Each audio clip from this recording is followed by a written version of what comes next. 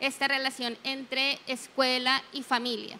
Personalmente creo que es importante que los establecimientos educativos y las familias encuentren ese nodo, ¿no? Eso que los articula de manera potente, que por supuesto pueden ser muchos aspectos, pero creo que hay uno principal y es la formación integral de nuestros niños y niñas, su desarrollo eh, humano, el despliegue de sus capacidades. Y, y cuando encontramos ese vínculo, cuando lo hacemos visible, cuando entendemos que ellos, la escuela, y nosotros, padres y madres, aportamos en el desarrollo integral de nuestros niños y niñas, se pueden generar, generar miles de estrategias que permitan ese fortalecimiento. Como dice usted, secretario, generar espacios alternativos al aula que sean constructores de paz, que permitan el despliegue de capacidades, que nos permitan innovar, crear espacios alternativos en los cuales los niños y las niñas se desarrollen y, por supuesto, la comunidad con ellos y ellas porque no está escindida de, su propia realidad, de su principio de vida.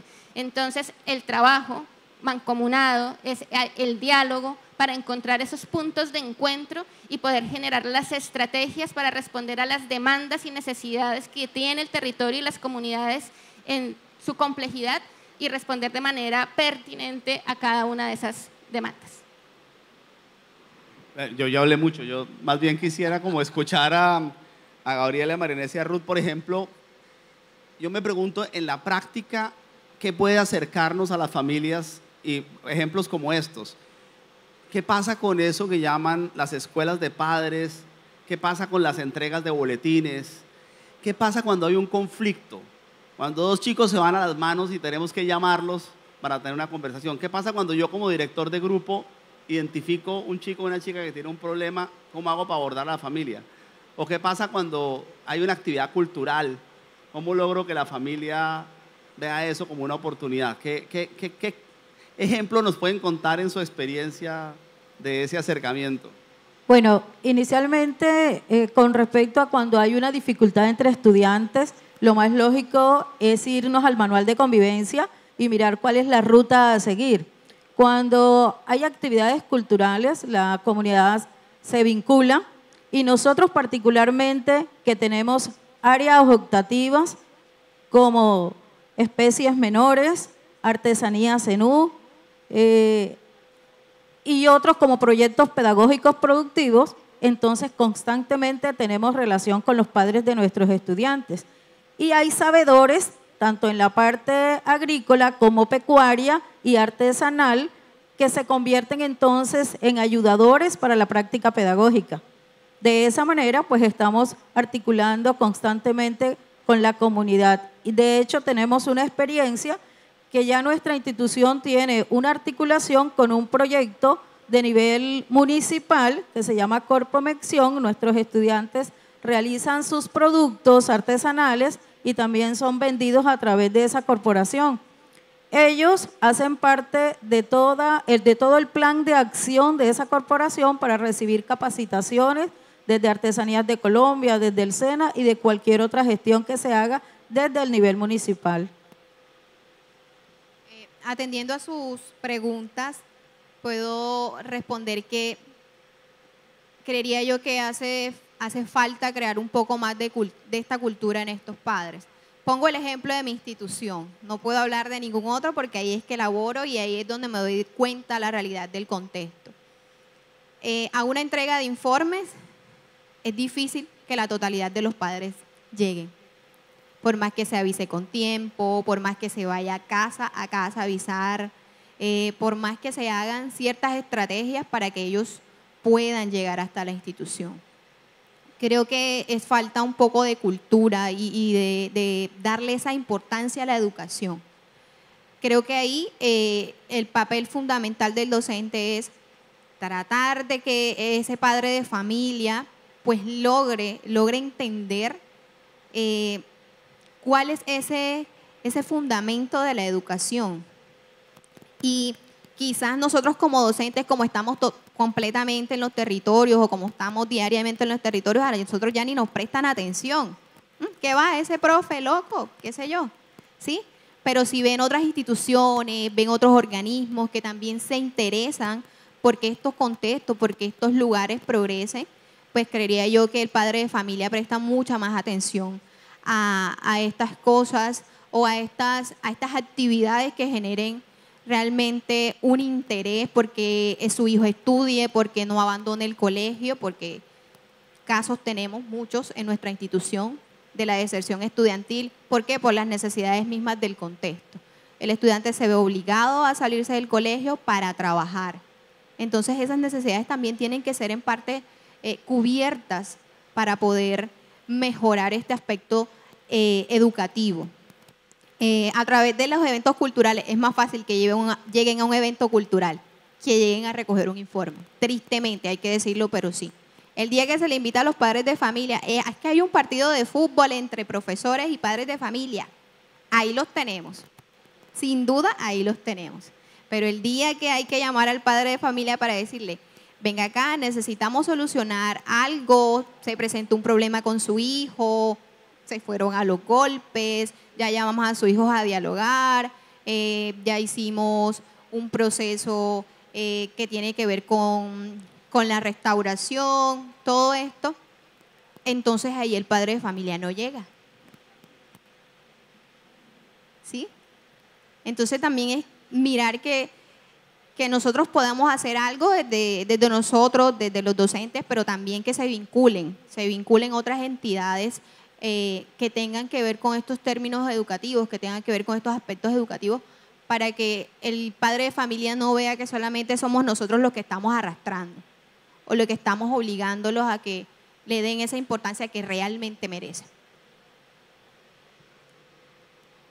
Bueno, eh, también pienso que, como dice la compañera, los vínculos entre las familias son muy importantes y como maestros estamos llamados a crear esa cultura entre el padre de familia y la escuela, porque muchas veces en nuestras escuelas rurales los padres de familia eh, escasamente llegaron a un primero o un segundo de primaria y no tienen como esa cultura de que la formación integral de sus niños es importante. Entonces empezamos a crear, hace seis años llegué a la institución educativa San José de Laguneta, sede de la Barra Belén, una institución, vivo en Sagún, Córdoba, y salgo desde las 5 de la mañana y estoy a las 7 de la mañana porque tengo hijos. Detrás de cada uno de nosotros hay una familia que también hay que cuidar. Entonces cuando llegué a esta comunidad rural dispersa, porque es una zona dispersa y olvidada, porque todo no es bonito, nuestra zona rural tiene muchas necesidades educativas y aprovecho y les cuento. Entonces estas necesidades nos llevan a un vínculo permanente y hoy en día en mi sede educativa. Que nuestro país, y por eso se ha recopilado esto, una escuela abierta, una escuela participativa y también importante manifestarlo, quien enseña aprende. Vamos entonces a esta hora justamente a conocer una de las experiencias en nuestro país, justamente desde el municipio de Tuluá. ¿Cómo son esas experiencias de enseñanza, de aprendizaje y de nuestros maestros?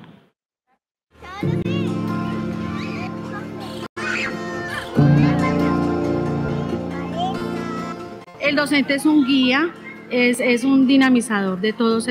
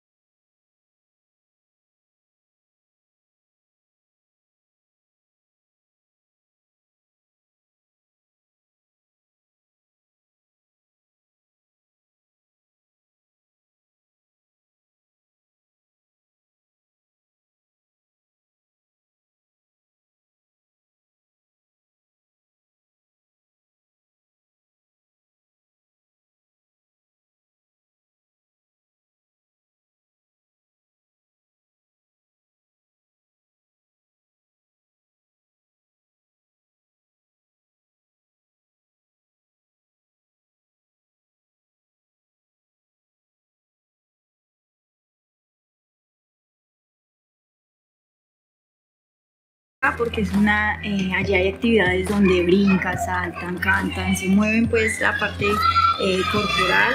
Es una actividad que nos ayuda a recordar que mediante el juego es la mejor forma de tener aprendizaje para los niños. Un niño aprende matemáticas jugando, un niño aprende a comunicarse jugando, un niño aprende explorando el medio, un niño aprende y estas rondas infantiles pues tienen mucho de esos componentes.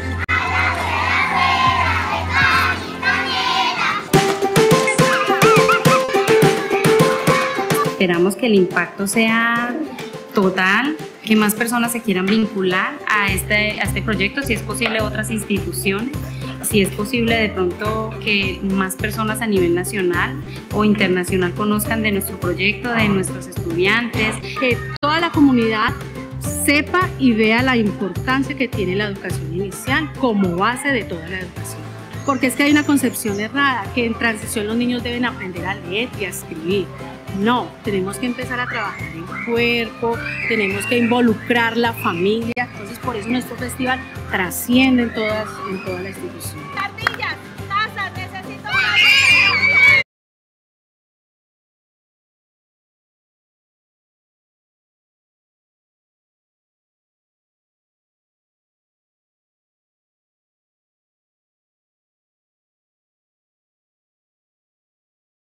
Los niños son felices, la escuela se llena de color, se llena de gente, toda la comunidad siempre se vuelca al Festival de Rondas.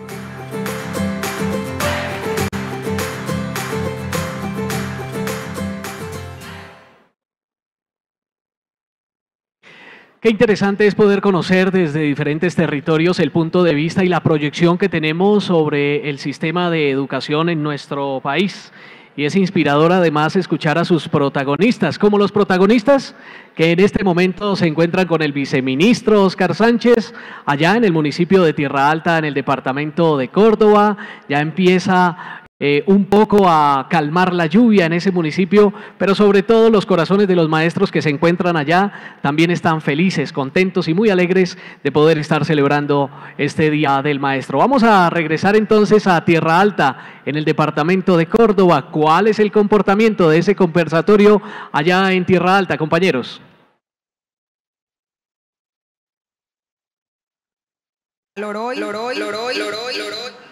Eh, y bueno, aquí tenemos a nuestro segundo grupo de docentes, con nuestro viceministro, el secretario de Educación, la doctora Marcela, y pues los demás, y los demás eh, participantes el día de hoy. Entonces les agradecemos a todos, por favor, los que están en la tarima, que nos presentemos nuevamente.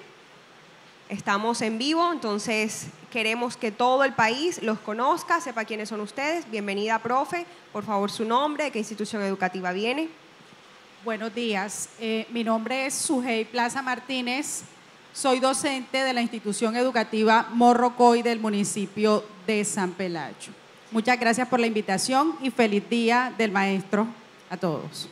Bienvenida, profe. Gracias. Profe. Muy buenos días. Mi nombre es Freddy Fernández Almario. Soy docente de esta prestigiosa institución, la Institución Educativa Agroecológica Nuevo Oriente.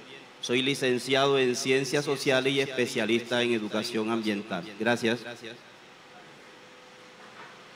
Muy buenos días. Mi nombre es Janet Yomaira Racini Narváez.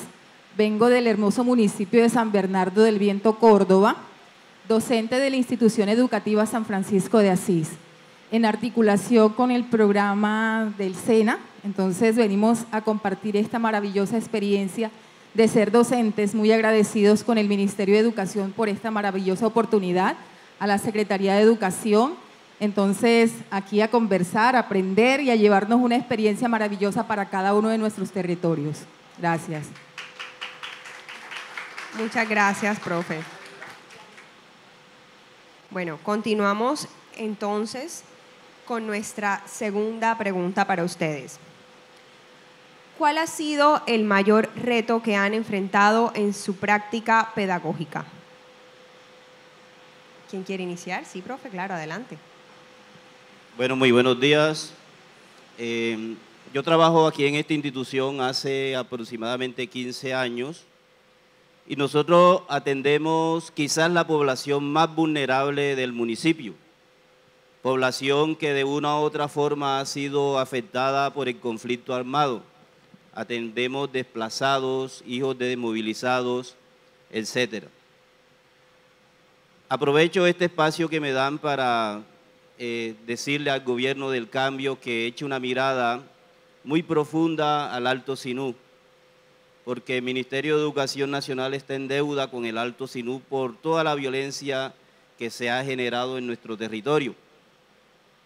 Y lo más difícil dentro de la práctica, eh, la práctica pedagógica ha sido eso, tratar con esa problemática, ver a niños, jóvenes, eh, víctimas de la violencia con una desesperanza inmensa frente a un futuro que muchas veces se vuelve comprometedor porque a veces la violencia no cesa.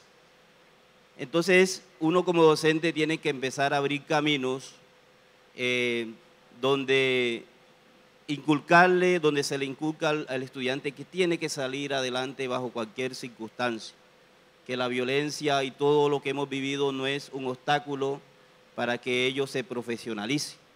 Entonces ese ha sido nuestro mayor reto dentro eh, en el papel que desempeñamos aquí como docente de la institución educativa agroecológica Nuevo Oriente.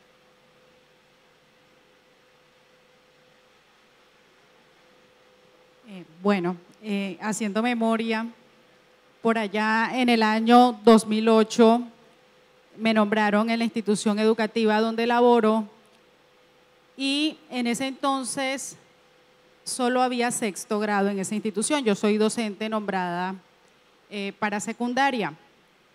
Eh, cuando llego, me encuentro que ellos trabajan bajo la metodología telesecundaria y que a un solo docente le toca trabajar todas las áreas a través de unas ayudas educativas que teníamos, videos, libros, eh, toda esa situación. Eh, fue un choque grande porque en realidad eh, no estamos acostumbrados con eso. ¿Qué me tocaba? Traerme los videos, traerme mis CDs todas las tardes en mi casa, verme primero todo eso, hacer las actividades en los libros y trabajar para poder llegar a, orientar a los estudiantes al día siguiente. Gracias a Dios no fui inferior a ese reto pero en el momento eh, sí fue un choque grande para mí. Pero gracias a Dios fue una experiencia muy bonita. Ya posteriormente, eh, con los años, fueron nombrando los docentes de cada área y hoy día eh, trabajamos de otra manera, pero, pero sí, fue eso. en mi institución educativa, yo siento que uno de los más grandes retos que he tenido que afrontar es involucrar, involucrar a las familias en los procesos educativos de los muchachos. Hay padres que sienten que la responsabilidad es únicamente del docente y que nosotros no vamos a la institución educativa únicamente a llenar a nuestros jóvenes de conocimiento, sino que vamos en un proceso de transformación y articulación y eso nos hace ser realmente en ocasiones eh, docentes, psicólogos, amigos, padres de familia. Eh, en ocasiones nos convertimos hasta en ambulancia, médicos. Eh, siento que en ocasiones hasta conocemos mucho más a nuestros estudiantes que los mismos padres. ellos sienten que, o yo he sentido en ocasiones, o he tenido grupos, donde mis estudiantes terminan diciéndome mami. Y ya son graduados universitarios y el primer reconocimiento que hacen al momento de recibir su, su titulación es para mi mamá Janet. Entonces, eso le deja a uno grandes enseñanzas eh, y aquí es donde está el reto más grande, educar con amor, educar desde las particularidades de nuestros estudiantes, cada uno de ellos llega al aula educativa buscando algo totalmente diferente y nosotros reconocer lo que él está buscando, yo pienso que es lo más grande. Eso es lo que nos hace ser realmente grandes docentes y yo pienso que hoy, gracias a Dios, gracias al ministerio, se está haciendo un reconocimiento a esta labor tan maravillosa que tenemos. Somos los mejores y más importantes profesionales del mundo. A nuestras manos llegan cada uno de esos jóvenes buscando algo y ojalá lo puedan encontrar. Llegar a nuestras manos y que cada uno de ellos se vaya haciendo mejor, yo pienso que es la tarea más importante que podemos alcanzar. Y desde ese punto de vista, entonces, sí, empezar a educar. Educamos, formamos desde la base más importante. Yo tengo 16 años de estar en mi institución y cuando llegué, llegué con un proyecto que es de motivación. Motivación y cuando yo veo que un estudiante está saliéndose del contexto de lo que yo pienso que pudiera ser la línea que lo lleve a construir su proyecto de vida, yo les digo a ellos, ahí es donde yo más estoy. Cuando yo veo que el muchacho está encaminado hacia su proyecto, empiezo a alejarme y busco al que realmente me necesita en ese momento, porque algunos me dicen, Señor, no entiendo por qué se me está alejando. Y yo, porque en este momento ya siento que tú no me necesitas tanto como aquel que está allá. Entonces, cuando decían hace un momento, no sé si me lo permiten, hablar de que la experiencia que uno tiene como director de grupo, tengo 16 años de ser docente y he tenido 18 direcciones de grupo. ¿Cómo así? Si una por año, no. Hubo dos años en los que me tocó ser directora de dos grupos porque había un grupo que ya se graduaba en 11 y me dijeron, señor, nosotros no nos podemos ir de este colegio si usted no es nuestra directora. Entonces he asumido en dos oportunidades el reto de ser directora de grupo de dos grupitos. Entonces eso le muestra a uno una experiencia maravillosa que el quehacer educativo debe hacerse con vocación. A mí no me falta un padre de familia a mis entregas de boletines. Nunca, nunca, nunca. Siempre están, eh, son los primeros que están atentos en que hay que colaborar y les digo, yo les agradezco por el espacio que sacan para venir a saber de sus hijos, porque ustedes nos están entregando a nosotros un tesoro y yo como tesoro así mismo lo cultivo. Entonces, recibirlos lo recibo de una manera y se los entrego de otra. Y aquí vamos todos, por eso es importante el apoyo a nivel de la familia, el apoyo a nivel de, los entes, eh, de las mismas instituciones y tener también buenos directivos y administrativos en la institución. Muchísimas gracias.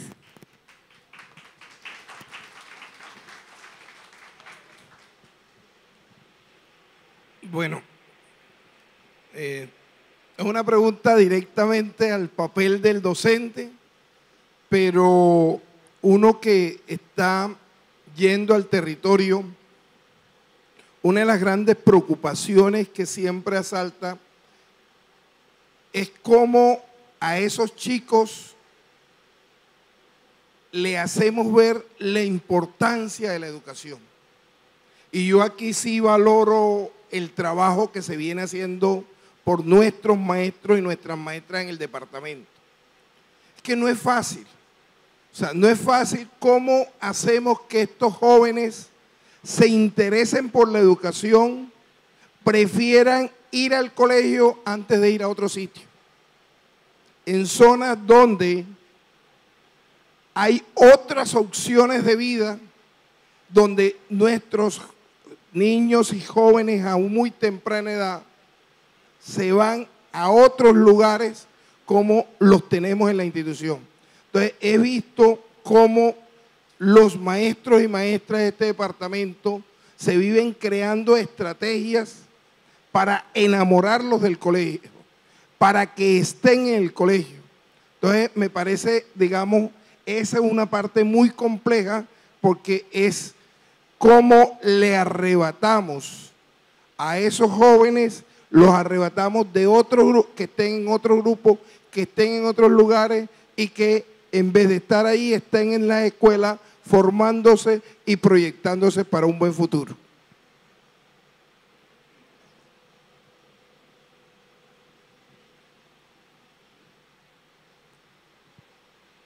Yo quisiera, es que escucho a su jefe que dice, bueno, me llega una, una metodología y nadie me ha contado que yo tenía que usar esa metodología. O, o Freddy que dice, bueno, aquí en medio de la violencia, ¿cómo le hacemos? Janet con su historia tan, tan bella de cómo lograr esa diferenciación entre los chicos que tienen más o menos dificultades, que me parece fuerte. Y les haría una pregunta y es, pensando en esas situaciones, ¿a ustedes qué les habría gustado que el ministerio hubiera hecho y no hizo?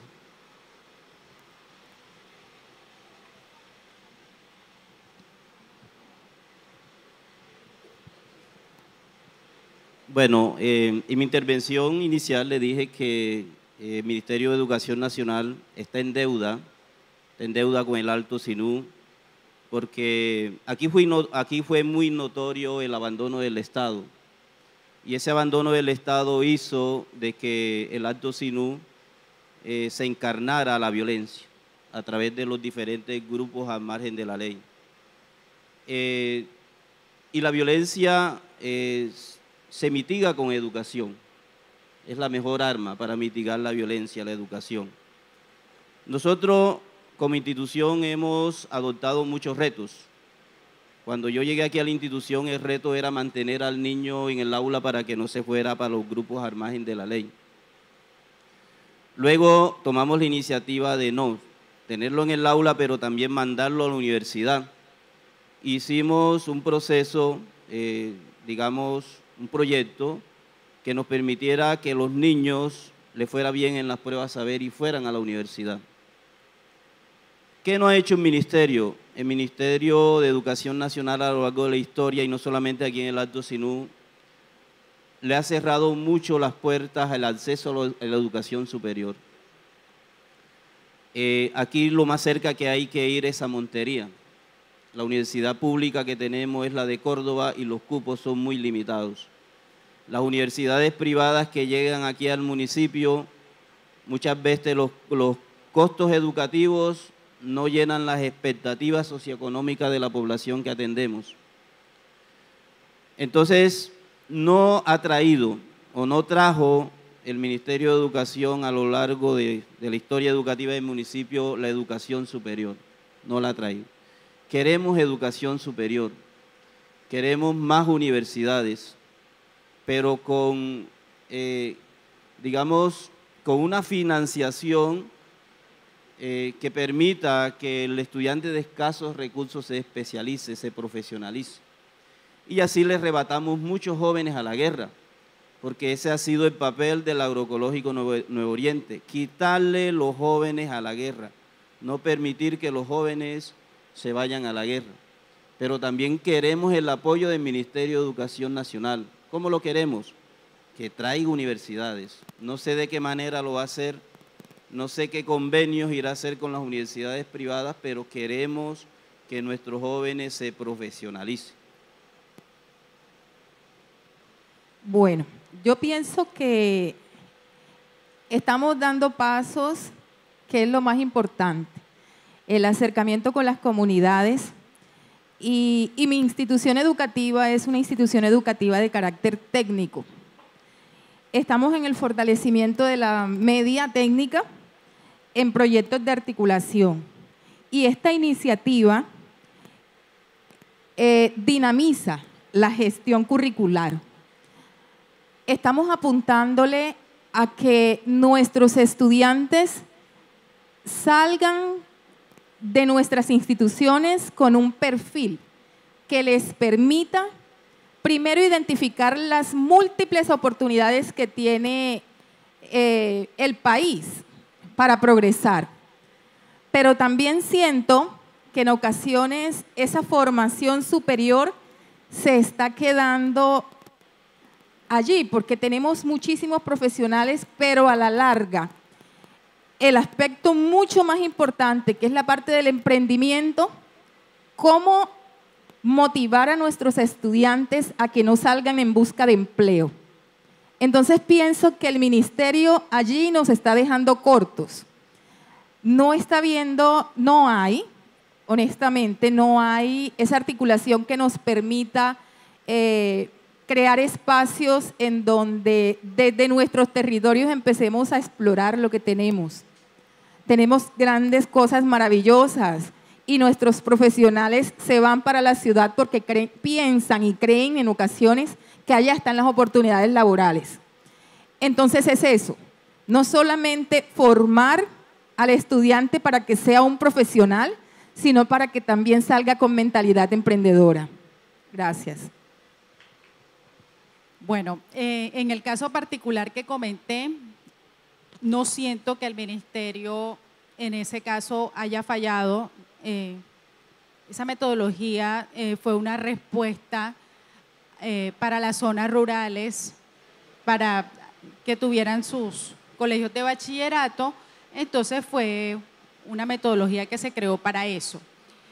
Pero en ese entonces, de hecho todavía en, algunas zonas, hay mucho profesor provisional. Entonces, cuando se implementó la metodología, a los profes, algunos se les citó a capacitación para eso. Se capacitó una profe que era provisional, a la que yo llegué a reemplazar en el mes de agosto. Entonces ella estaba capacitada, pero la que iba a quedar con el grupo era yo. Entonces, eh, eh, la capacitación sí la hubo. A mí me llamaron a capacitación como en el mes de octubre, cuando ya tenía más de dos meses y, ya prácticamente había buscado, había implementado. Eh, entonces, fue cuestión de tiempos y ese problema de, de los provisionales en, en las zonas rurales dispersas, porque a veces muchos maestros, cuando el concurso de méritos, no aceptan irse para, para esas zonas, entonces siguen estando los profes provisionales. Entonces eso fue lo que pasó en mi caso. Viceministro, yo más que contestar de pronto es decirle, uno de los aspectos fundamentales y que no solo sería el Ministerio, sino también la Secretaría de Educación hay un aspecto fundamental que usted tocó y que hemos tratado de ir haciendo, es llegar a los territorios.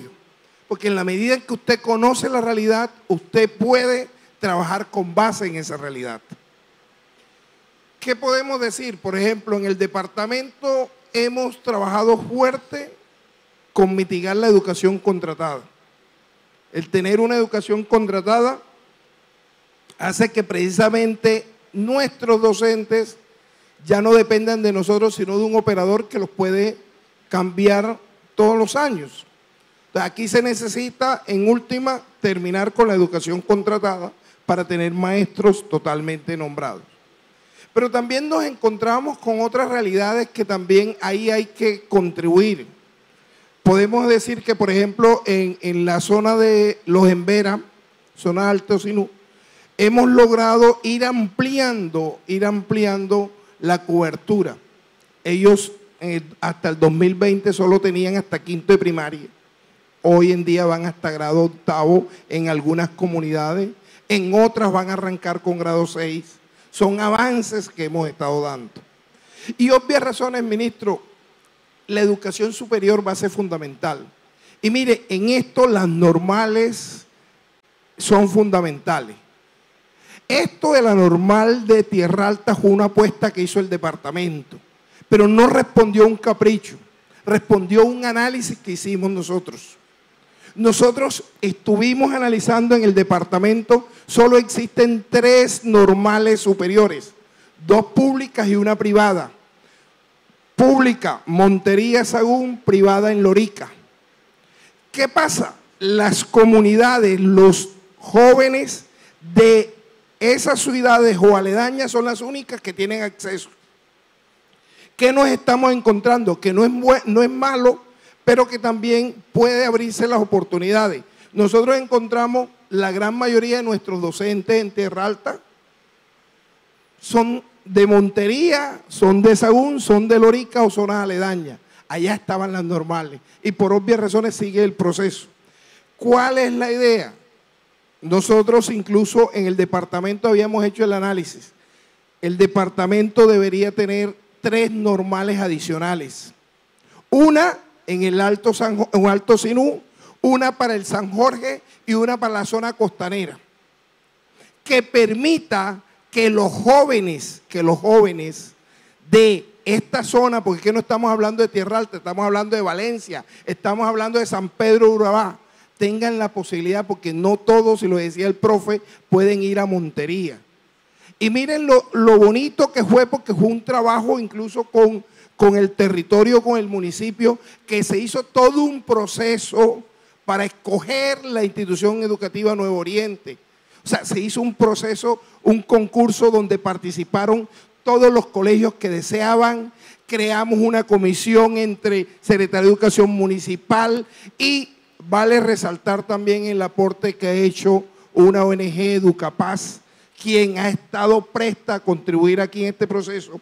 Y entre todos se hizo el proceso de selección, quedó la institución educativa Nuevo Oriente y se pusieron los pantalones fuertes y miren por dónde vamos. Entonces sí es importante decir eso, que tenemos, necesitamos el apoyo de ustedes, pero aquí es un aporte de todos para poder llegar a un gana-gana.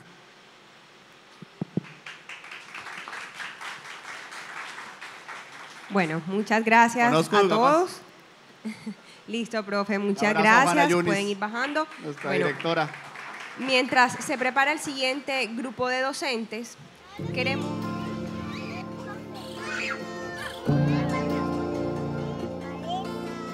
El docente es un guía, es, un dinamizador de todos estos espacios. Eh, nosotros estamos acá para guiar a los niños en todo el proceso.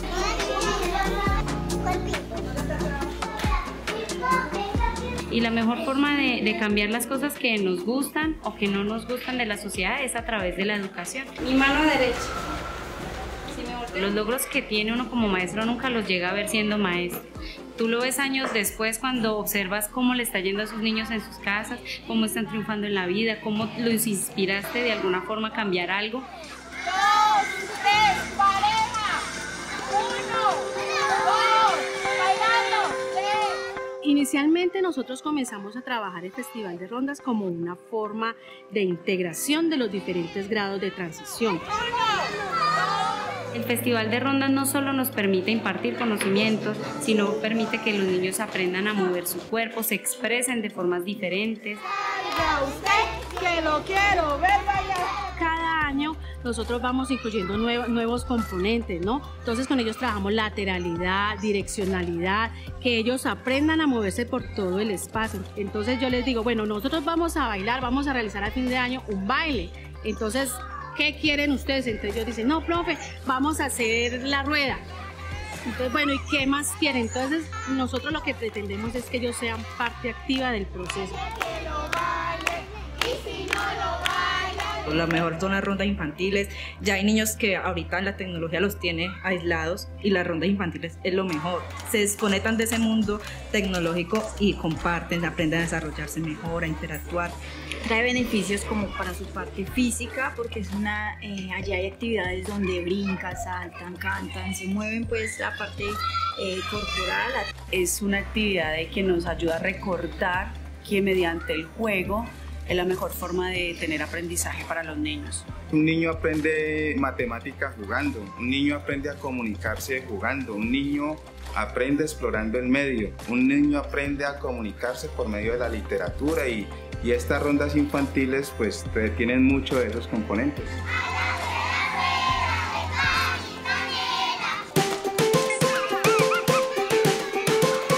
Esperamos que el impacto sea total, que más personas se quieran vincular a este, a este proyecto, si es posible otras instituciones, si es posible de pronto que más personas a nivel nacional o internacional conozcan de nuestro proyecto, de nuestros estudiantes. Que toda la comunidad sepa y vea la importancia que tiene la educación inicial como base de toda la educación. Porque es que hay una concepción errada, que en transición los niños deben aprender a leer y a escribir. No, tenemos que empezar a trabajar en cuerpo, tenemos que involucrar la familia. Entonces, por eso nuestro festival trasciende en, todas, en toda la institución. Es muy importante que se reconozca todo el esfuerzo que está realizando las escuelas públicas a nivel nacional. Estamos haciendo algo importante aquí. Nosotras nos sentimos felices, nosotros nos sentimos llenas de ver que los padres de familia responden ante, esta, ante este llamado, los niños son felices, la escuela se llena de color, se llena de gente, toda la comunidad siempre se volca al Festival de Rondas.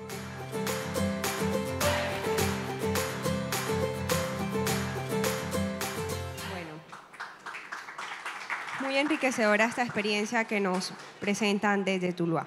Continuamos entonces con nuestro conversatorio y le damos paso a nuestras siguientes tres maestras. Ah, y maestro. Y profe, y profe. Sí, es que estamos bastante feministas hoy, pero bueno, qué bueno que los profes también están integrados.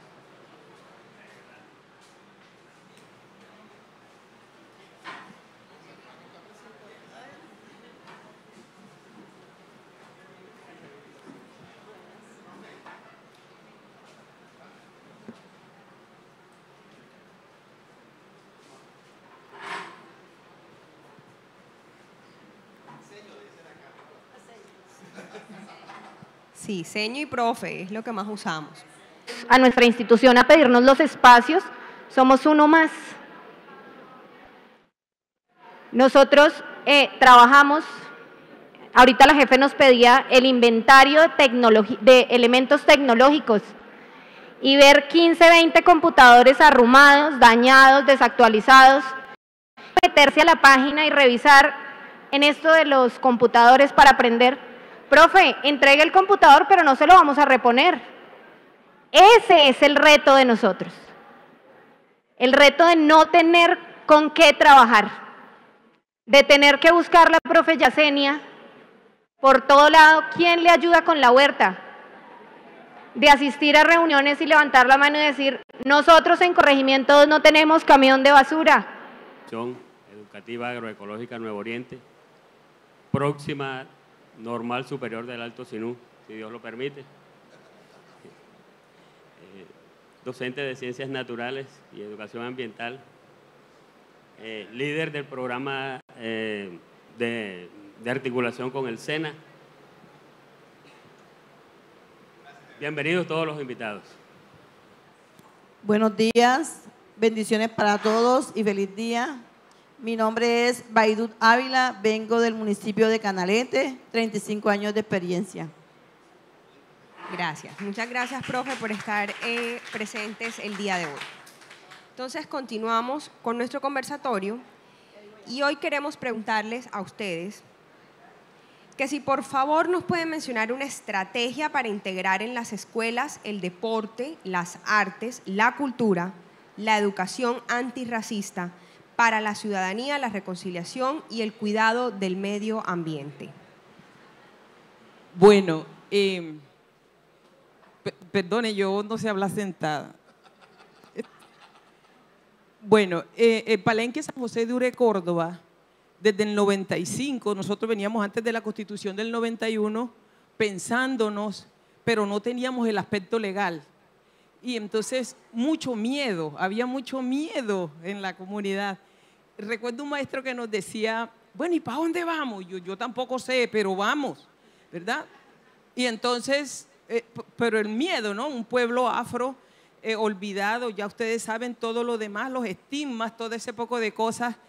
Y en Ure habían dos problemas grandes, ser afro y ser urezano, ¿verdad? Porque en Ure hay una forma de hablar, una forma de, de vivir, un, todo diferente, todo. Y eso era motivo de estigmatización alrededor. Pues donde quiera iba el urezano, iba el hey manure, hey no sé qué. O sea, esa perrata y esa cosa, la gente no quería, no quería. Y es verdad, el afro, todo lo que encuentra a su alrededor es adverso a él. Las aguas no son servidas y sucias, sino negras.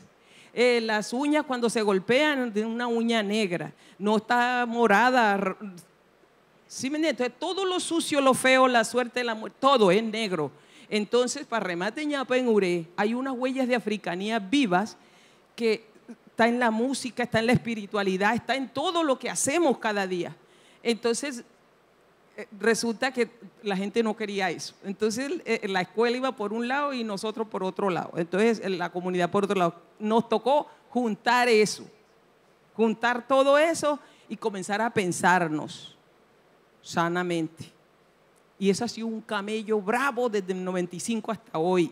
Nosotros tenemos todas las cátedras montadas, principalmente la cátedra en educación afrocolombiana, ¿verdad? El 1122 del 98. Allá está montado, con currículo ancestral, con currículo eh, hegemónico, con todo. está allá, porque ese es el motor que mueve eso allá. Y es una experiencia de educación afrocolombiana donde está vinculado todo, está parado en cuatro momentos fuertes. Uno sobre la identidad y cómo somos, ¿verdad? Hay relacionamiento con nuestros mayores, con nuestros abuelos y abuelas, las matronas están allá vivas, ¿verdad? Y entonces se trabaja todo, las la huellas de africanía se trabajan de ahí, el canto, tuna, berroche, chandé, bullerengue, entonces hay semilleros infantil, juvenil, de adulto, de nosotros los profesores, sobre, la, sobre esos bailes, sobre esas músicas. ¿Verdad? En segundo momento tenemos todo el tema de la, del ambiente y la salud, y allí tenemos todo el tema de la medicina ancestral, el remedio, eh, todo eso. La planta, los viveros nativos, todo esa, ese proceso. Y en tercer momento tenemos el tema del no desarrollo, que es bien bravo en todos estos sures de Córdoba, ¿verdad? En el Alto San Jorge, nosotros estamos en el Alto San Jorge, orilla del río Uré, en las estribaciones de la serranía de Ayapel y ustedes saben que lo ilícito y, la minería y, ese pueblo ha vivido de la mina artesanal con batea, no con máquina amarilla. Bueno, entonces em, nuestra gente, nosotros sabemos barequear desde muy temprano y con eso nos hemos sostenido en ese territorio y su agricultura y los demás, la pesca y todo eso. Entonces, todo eso hoy es currículo en URE. Todo eso está en el currículo y eso es lo más duro que nos ha costado. Y sobre todo cambiar la visión del docente, porque a nosotros nos preparan para ser un maestro en todas partes, pero no un docente para esos lugares. y estamos homogéneos, nosotros estamos uniformes, no vemos la importancia de la diversidad y lo importante que es, y ahí es que está la potencia de nosotros en mirar lo diferente y lo, diverso que son nuestros escenarios y bonitos. Entonces nos toca trabajar por potenciar eso. Nosotros lo hemos hecho con IAP allá, preguntas y formándonos. Entonces, ese proceso, ahí hay juego ancestral, hay currículos de rondas, de cantos, de juegos desde viejito hasta el más pequeñito, eh, cantos de cuna, cómo se arrullan los niños. Nuestras mujeres, desde que vinieron de África, eso es lo que han hecho, ¿verdad? Cocinar, defender una familia, todo eso. Entonces, eso nos tocó inventariarlo y meterlo en el currículo. Entonces, en URE usted encuentra un currículo ancestral y un currículo hegemónico, pero lo cruzamos en una guía en la clase, en el salón. Entonces, hacemos guías no educativas de clase. Hoy esos saberes los hemos compartido con la Universidad de Córdoba y en la Universidad de Córdoba hoy tiene un, diplomado en educación y ahí nosotros aportamos porque nosotros le dijimos a la Universidad de Córdoba que por favor no nos mandara más profesionales allá a vernos raro a nosotros allá. Porque uno en su tierra es rey y nosotros allá somos los que debíamos, le, dijimos por dónde que queremos tirarnos. Y así eso ha pasado. Mire, en Ure pasa eso cada ratico. Allá van padres en la iglesia que van con su, con su cuento de acá y la gente le sale cantando otra cosa. Entonces nosotros que hicimos, metimos sus tambores a la iglesia y cantamos su canto religioso como nosotros lo entendemos. ¿Verdad? Entonces la clase religión retoma eso. Y chiste hay lo que ustedes quieran para contar todo el resto de día hoy de lo que nos ha pasado a nosotros allá. ¿verdad?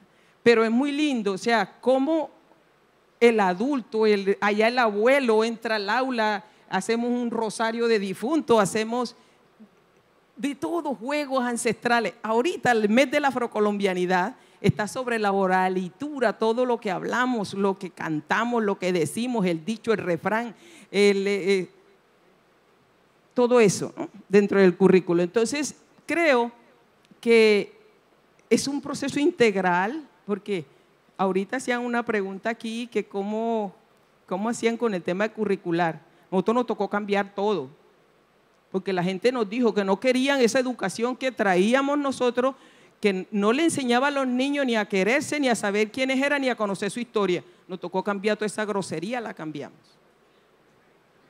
La cambiamos y empezamos preguntando, ¿qué quiere usted que aprenda a su hijo en esta escuela? Ah, que sepa la historia. Entonces nos tocó aprendernos la historia a nosotros, porque no hay libros de historia que, que hablen más de 12 rengloncitos y hablan de la esclavitud. Cuando de África no vinieron, vinieron seres humanos. Con, y además el que no sabía trabajar no lo traía. El que estaba lisiado no llegaba. Las mujeres, por eso, los senos, la cadera y los dientes, era la, la, factura para poder que la, venderla. ¿Verdad? Entonces, por ahí está la educación sexual de nosotros allá. ¿Cierto? Que nuestras niñas sepan su ser, qué es, lo potente que es, cómo valorar nuestras sexualidades, cómo mirar nuestro cuerpo. Entonces, tenemos un museo también. Todo esto ha nacido a raíz de toda esta experiencia. Ese museo tiene seis exposiciones temporales que hablan de la vida cultural de Ure dentro del aula. Entonces el niño tiene varios escenarios para aprender, además del, trabajo en toda la comunidad, eh, lo ambiental, los viveros nativos, allá hay hasta para tirar para el cielo. Necesitamos que ustedes lleguen allá, conozcan eso, porque hay que escribir, seguir escribiendo. Comenzamos a escribir también esta experiencia la contamos hasta el 2010.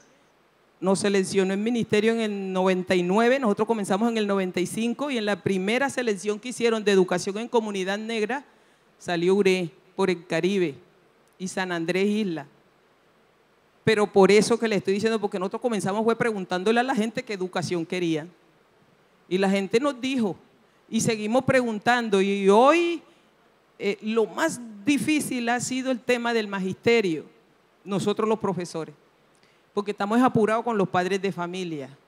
Porque un padre de familia, cuando usted le pregunta y, coge el camino que la comunidad quiere, lo que nos quedamos somos nosotros.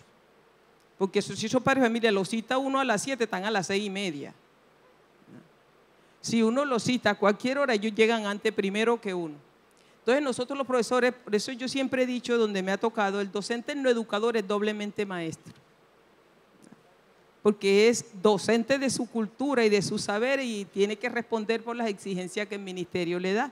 Entonces es una, un aporte ahí que nosotros allá entre todos trabajamos, construimos, celebramos también. En este mes de la afrocolombianidad, el 21 de mayo, Día Nacional de la, de la Afrocolombianidad, ¿verdad? La ley 725. Eh, nosotros ese día es fiesta, es la fiesta del colegio. Y todo el mundo, ahí en preescolar, desfiles de princesas, príncipes, hay lo que quiera en ese tema de, de Nico Afro. Y bueno, y por primera vez tenemos docentes nombrados para ese proceso, ¿verdad? Con ese enfoque, de esas maneras, pero vamos a que sea en propiedad, que no sea en provisionalidad porque está el riesgo de que se los lleven y entonces el que prepara uno, y entonces estamos como en una pista jabonosa que caminamos y parece que no avanzáramos, pero es porque nos quitan los maestros que se forman, entonces se los llevan, ¿verdad? O se trasladan por cualquier circunstancia. Entonces, estamos comenzando siempre y así es con todas las etnias de Colombia. Siempre estamos como comenzando, porque este cuento tiene uno que echárselo y repetírselo y repetírselo porque el racismo es real la discriminación, la xenofobia, toda esa familia es real y son enfermedades mentales. Las cadenas se fueron físicamente, pero quedaron acá. Entonces tenemos que luchar cada día para que nuestras escuelas sean esos espacios inclusivos que necesitamos. Muchas gracias. Perdónenme, pasé.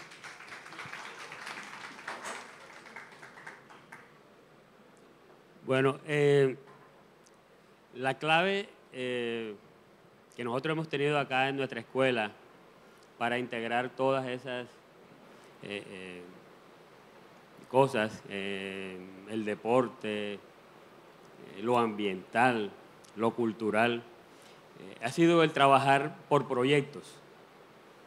Cuando nosotros hicimos el estudio de contexto, estamos en, la construcción de los documentos para, para presentar el proyecto paranormal superior, nos dimos cuenta de muchas cosas y empezamos a cambiar muchas de las metodologías que nosotros traíamos. Hoy en día trabajamos por proyectos, eh, nosotros tenemos cuatro grandes proyectos transversales que se, que se manejan en, cada docente en, en, su clase. él llega a una clase de la que sea, por lo menos debe trabajar uno de esos proyectos transversales. El PRAE, el proyecto para la sexualidad, el de democracia o el de tiempo libre. A su vez, estos proyectos se entrelazan. Eh, le pongo un ejemplo. En, julio va a empezar un campeonato eh, intercurso. La inscripción para ese campeonato intercurso se va a pagar con material reciclado de la institución, de lo que produce la institución. Y los equipos llevan involucrado también la siembra de un árbol que puede ser frutal o maderable. Entonces estamos integrando todo.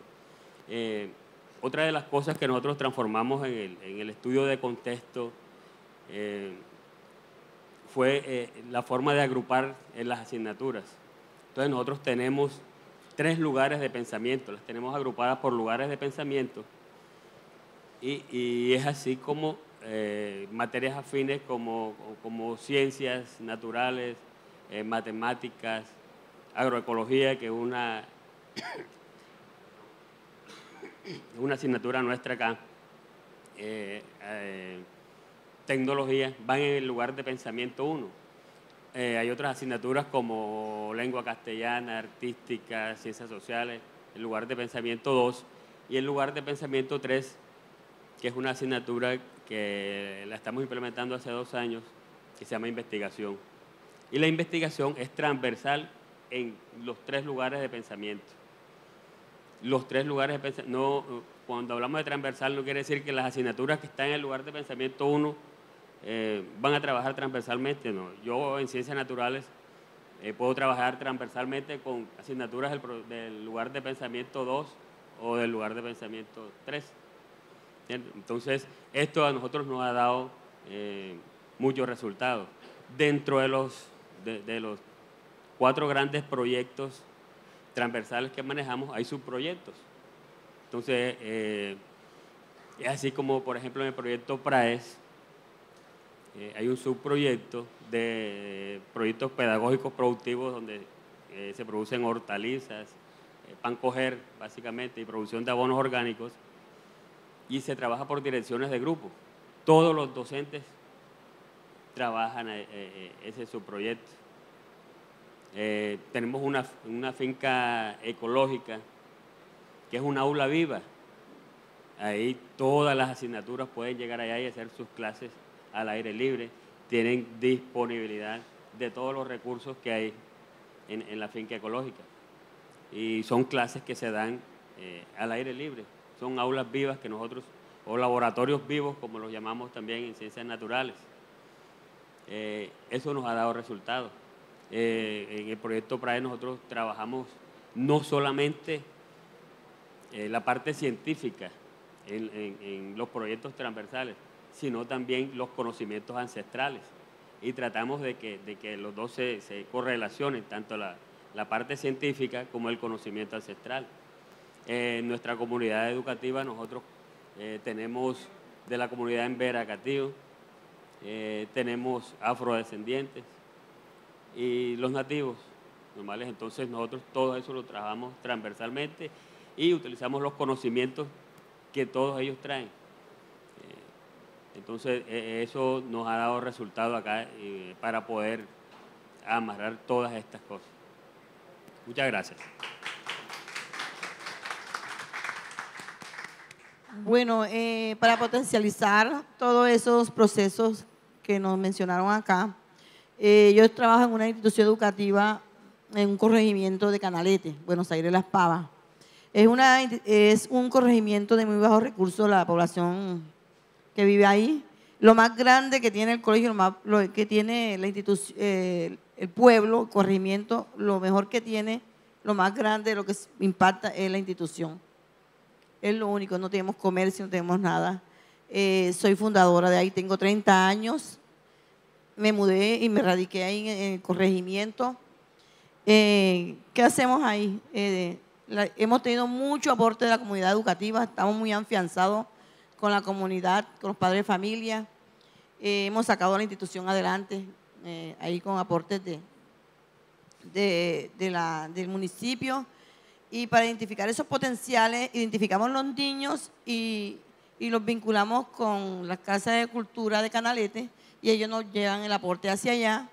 Más tenemos un docente que también es fundador, que trabaja muchas las artes y ¿qué hacemos nosotros? Nosotros le compramos acá el material a los niños y se lo vendemos al mismo costo para que ellos puedan tener acceso a hacer las diferentes manualidades como hamacas, mochilas, canastos, para que ellos sean, ellos venden y también les sirve como, como un como proyecto para ellos. Esa es la forma como acá, allá potencializamos esa, eso eh, sobre la, la, la, el deporte y las manualidades de los niños.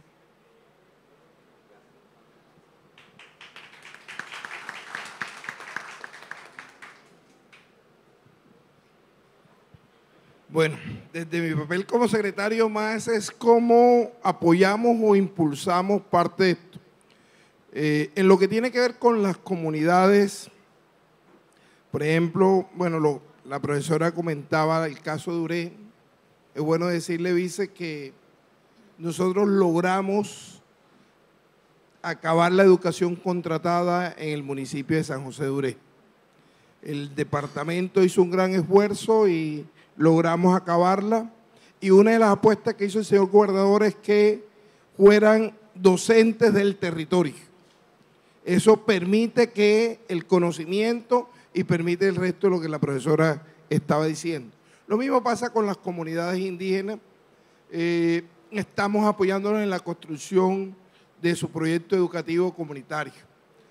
Pero adicionalmente, y es importante de pronto resaltar, eh, hay otras organizaciones que también están apoyando, están apoyando especialmente, eh, y en esta zona todo lo que tiene que ver con la parte del conflicto, del conflicto, la parte del conflicto escolar.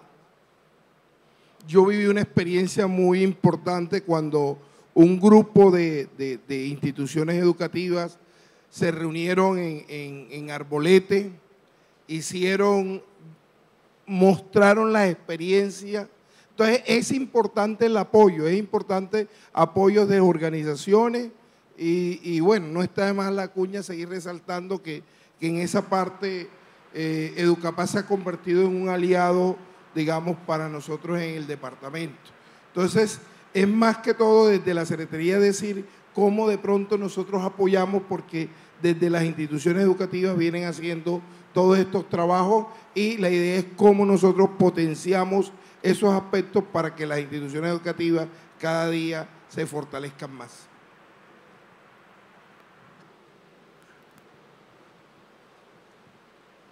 Bueno, muchas gracias, profes, secretario, por esas intervenciones. Todavía no hemos terminado. Quería agradecerles porque sus reflexiones pues, nos permiten ver que no se trata de niños y niñas adaptándose al currículo, sino que se trata de currículos adaptándose a la realidad y diversidad de los niños y las niñas, y de los estudiantes y de las comunidades en general. Eh, se trata de entender que los currículos son flexibles, que sí podemos hacer transformaciones, que podemos pensarnos formas otras de organización escolar y que todo es posible en el marco de las necesidades que tengamos. Eh, por supuesto se requiere el acompañamiento, por supuesto se requiere de la voz conjunta de toda la comunidad, eh, se requiere del saber pedagógico ese que nos da la práctica y que nos dice cómo poder hacer frente a las necesidades que tienen nuestros estudiantes. Se trata de poder pensar espacios también alternos al aula, al aula y, pensar en los intereses de los niños y las niñas, ¿no? Pensar en todas las posibilidades que desde proyectos pedagógicos, talleres, semilleros, etcétera, pueden darse teniendo en cuenta eh, las necesidades, gustos e intereses, ritmos de aprendizaje de nuestros estudiantes. Entonces, pues creo que esas experiencias que ustedes nos narran hoy, pues nos abren la puerta para entender que sí es posible hacer transformaciones a nivel curricular. Bueno, yo, este, digamos que en mi reflexión personal y en el trabajo institucional que hemos hecho en varios ámbitos, tendría que reconocer el caso de lo que se hizo en Bogotá entre 2012 y 2015. La pregunta es, ¿cómo hacer un derecho a la formación integral? La educación hace unos años, hace unas décadas, por la urbanización rápida, decidió prescindir de todo lo que no fuera eh, unas cosas muy básicas la educación pública. Eh, y entonces pasó que las clases medias, por sus familias, por el tiempo escolar, por la disponibilidad de docentes, por múltiples razones, las clases medias empezaron a tener derecho a la formación integral y los sectores populares no. Así es que es algo trascendental. Em, es costoso, es complejo. Aquí una pregunta sería, bueno, ampliar la jornada es útil, es necesario, no es útil para estos propósitos. Eh, ¿Qué tanto se necesitan profesores, profesoras especializados? ¿Qué tanto interactuar con miembros de la comunidad, con sabedores tradicionales, pero también con profesionales distintos? ¿Qué tanto abrir la escuela? ¿Qué tanto llevar la escuela al territorio? ¿Qué tanto? A mí me impresiona mucho que siempre que uno llega a una comunidad, lo primero que dicen es el cerramiento, el cerramiento, el cerramiento. Y, ¿y no sería mejor como más bien ver todo el territorio como la escuela? Em, aquí está una persona de la unidad de parques. Eh, este territorio tiene pues, al, Parque Nacional Natural Paramillo, pero también tiene otras, otras em, zonas estratégicas ambientales esas alianzas con el sector cultura, con el sector deporte, con el sector TIC y en particular con el sector ambiente son realmente muy importantes y pues como en Bogotá nos funcionó, el presidente nos ha planteado hacerlo en Colombia. Entonces yo quisiera escucharlas sobre eso, cómo, cómo abrir la escuela, cómo abrir los tiempos, cómo abrir los espacios, cómo romper las lógicas de 6 horas de 55 minutos, un profesor que tiene la llave de un aula, tiene a sus niños todos allí durante ese tiempo, transmite información compitiendo contra Internet. ¿Cómo ir más allá de, las estructuras de poder, si se quiere, de los espacios y los tiempos convencionales? Bueno, nosotros allá eh, la institución, como estamos viviendo allá, eh, ¿qué hacemos? Nosotros nos, apropiamos de, del otro tiempo más salimos del colegio, entonces las personas que vienen de Canalete apoyarnos con los niños que tienen talento para el bolseo, que tienen talento para hacer los grupos de baile y las otras manualidades que tengamos que hacer. Entonces nosotros tomamos de nuestro tiempo y somos los que estamos ahí pendientes cuando vienen a capacitarnos en hora diferente al calendario escolar que tenemos en la institución. Ese es el aporte que nosotros le hacemos allá a la comunidad. En el caso nuestro, eh, yo les comentaba que trabajamos por, proyectos, eh, nosotros tenemos muchas aulas vivas, nosotros salimos mucho del aula. Eh, es común de pronto encontrar al profesor de matemáticas haciendo mediciones fuera, fuera del aula. en ciencias naturales, por ejemplo, en estos días construimos un vivero forestal y se hace la consulta con el profesor de matemáticas, porque se construye con los estudiantes.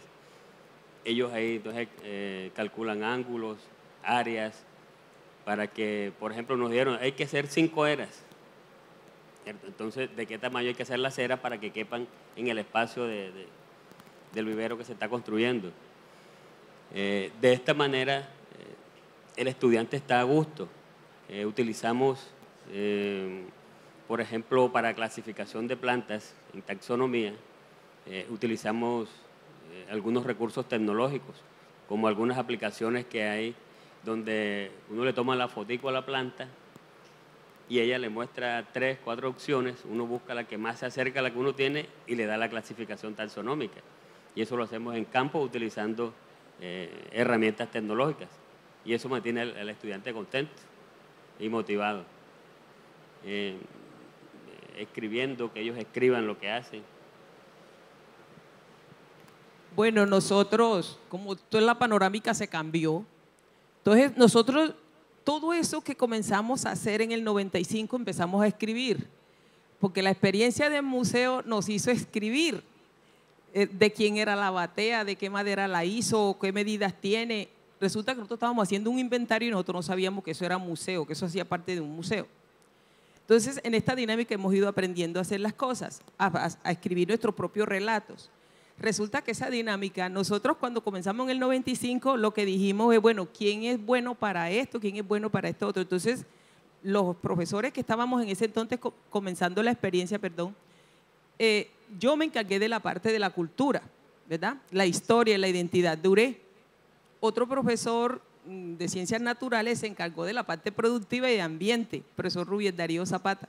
A ese le ha tocado pelear con lo ilícito y todo en la zona. Todo eso que nosotros vamos haciendo, otra que, le gusta el tema de los difuntos, bueno, está en la parte de la espiritualidad y ahí está lo de religión y están, ¿verdad? Y, nosotros de ética también estamos allí. Otros que les gusta la parte de, estar dirigiendo cosas, entonces están en los consejos comunitarios, están en, los, en las organizaciones de base étnica ayudando. Eh, en esos cuatro pilares que tenemos en esa dinámica étnica, en esa, en esa región, mire, esto es tan fuerte, tan grande, que la municipalidad Dure se paró ahí. Nosotros empezamos a estudiarle la caída a los políticos de Córdoba porque era que hacían un municipio, porque Ure ya se había lanzado tres veces y no había podido pasar. Entonces nosotros detectamos que ellos trabajan solo con votos, ¿verdad? Que, y, con dinero y, con padrinazgos políticos. Entonces nosotros no teníamos ninguna de esas cosas. Ni quién, porque no, nadie conocía a Uré, ¿verdad? Cuando uno iba a Montería, que venimos de Uré, Uré, Urabá, nos decían así. Que nosotros que éramos de Urabá, nosotros somos de Córdoba, del sur de Córdoba, ¿verdad? Uré. Entonces buscar mapa y a mostrar y eso. Entonces, eh, nosotros qué hicimos, mire, todo esto lo hemos ido escribiendo y esto ha servido para parar a Ure como municipio. Parece mentira, se nos olvidó hacer los alcaldes. Caímos en la, en la tramposería que ya, ya conocemos todos acá. Se nos olvidó hacer eso, pero estamos trabajando desde ciencias sociales para eso. ¿Cuál es la función de un alcalde? ¿Qué debe hacer un alcalde ahora, después que ya es municipio? Nosotros no pensamos que eso iba a llegar tan rápido. Nosotros comenzamos en el 95. ¿Y cuál era la reunión de padres de familia? Conozca la ley, conozca sus derechos. Usted tiene derecho a esto, esto, esto, esto. ¿Cómo estamos viviendo aquí? Así, así, así. Entonces la gente empezó a construir su propia dinámica. Apenas se abrió el tema de la municipalidad, bueno, nos podemos tirar por esta manera, por esta y por esta. Negociaciones. Hay que hacer negociaciones con nuestras escuelas y la realidad. De ahí ha bebido el, el PEDET en el sur de Córdoba de toda esa experiencia que nosotros veníamos construyendo de URE, los procesos de reparación colectiva, los procesos de reparación individual, ya la gente sabe a qué derechos tiene. Lo que sí hemos tenido graves problemas, porque ustedes saben que es un problema grave dentro de los pueblos afro, y es que el valor de nuestro trabajo. Eso es un tema que hay que trabajarle duro en todo Colombia, porque una señora que sabe lavar, usted la invita a su casa y muchas veces le dice lo que usted me quiera dar, ¿verdad? Lava y le dice, Señor, lo que usted me quiera dar. Entonces ya nosotros estamos formando en eso, ¿no? El derecho que tiene la trabajadora doméstica, todas esas cosas, las nuevas leyes, para que ellas sepan, ¿verdad? Y si nuestras niñas se van temprano de la escuela, que por lo menos si van a trabajar en una cocina, sepan qué vale su trabajo, ¿verdad? Y de dónde a dónde va y que no tengan, la tengan trabajando todo el día y toda la noche ahí. Entonces, hay, eso hay que enseñarlo en la escuela, que uno forma ahí, pero para que el niño aprenda a negociar también sus territorios, aprenda a vivir en su territorio, a valorar eso y saber qué valor tienen las cosas.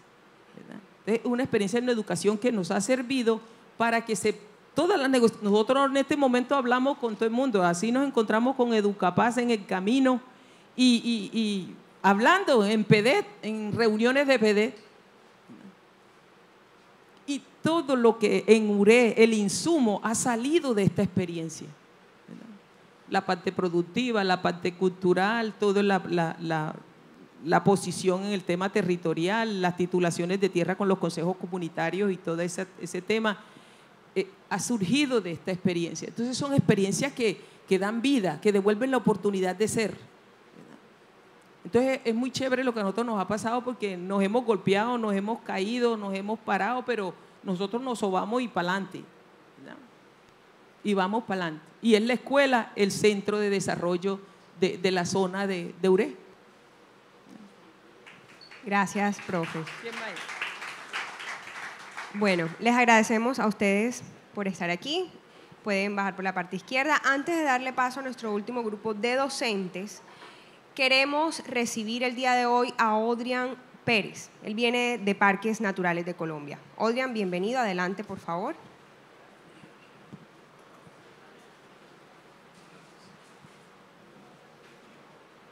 Buenos días para todos ustedes, eh, señor viceministro. Eh, un placer tenerlo acá en nuestro municipio. En nombre de nuestro director general de Parques Nacionales Naturales de Colombia, el doctor eh, Luis Olmedo Martínez Zamora, y de nuestro jefe de área protegida, el doctor Antonio Martínez, reciban infinitas felicitaciones a todos los docentes del país y especial del municipio de Tierra Alta y el departamento de Córdoba.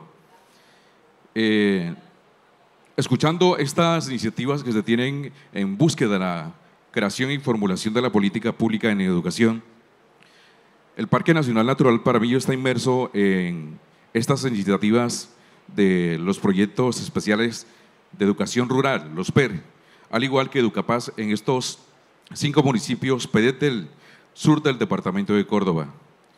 Yo creo que si no conocemos eh, nuestro entorno, nuestro gran pulmón para el mundo, lo que es el Parque Nacional Natural Paramillo, creo que si no comenzamos a gestar esas políticas públicas en torno a la biodiversidad, a lo que es nuestra eh, casa común, como es la madre naturaleza, yo creo que eh, estaríamos echando al traste esas iniciativas de formación y conservación.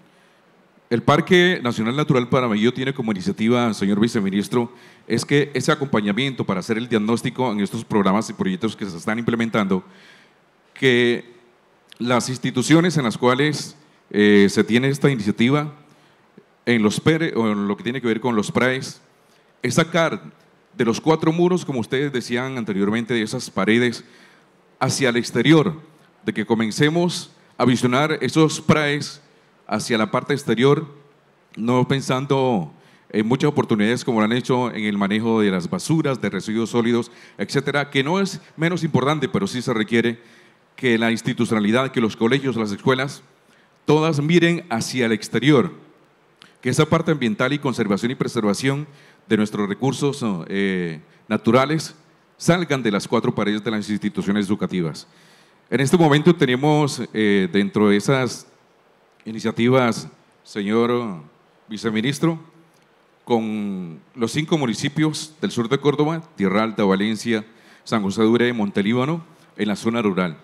Ese acompañamiento que vamos a realizar con los de Educapaz para hacer ese diagnóstico de cómo estamos y cómo hacer crecer y cómo hacer posible esa educación ambiental desde el territorio, haciendo esa concertación, como lo dice la docente de San José Duré, conociendo el entorno y si hay espacio para más adelantito, para que ustedes vean en un recorrido que pienso hacerles la invitación de que conozcan en ocho minutos, cuando haya el espacio de lo que es el Parque Nacional Natural Paramillo, en todo su contexto, en todo lo que concierne en su misión, visión y todo lo que concierne a conservar y preservar esta área protegida, una de las 60 que tiene el país de suma importancia para Colombia y el mundo. Entonces, más adelantito, señor vicerrector, entonces tiene ese relacionamiento y lo más importante es que entre el Ministerio de Ambiente y Educación se están trazando líneas para esa política pública para que los estudiantes de estas instituciones eh, puedan hacer su servicio social que esas horas que se les va a exigir en su formación académica a través de guardaparques voluntario, que creo que es la línea y la ruta que se va a trazar para que a través de guardaparques voluntario puedan tener ese conocimiento desde lo ambiental y que se enamoren en esa iniciativa de lucha y conservación de nuestros recursos. Muchas gracias. Gracias. Gracias, muchas gracias bueno, continuamos con nuestro conversatorio y invitamos a nuestras dos últimas dos maestras a, adelante, últimos tres.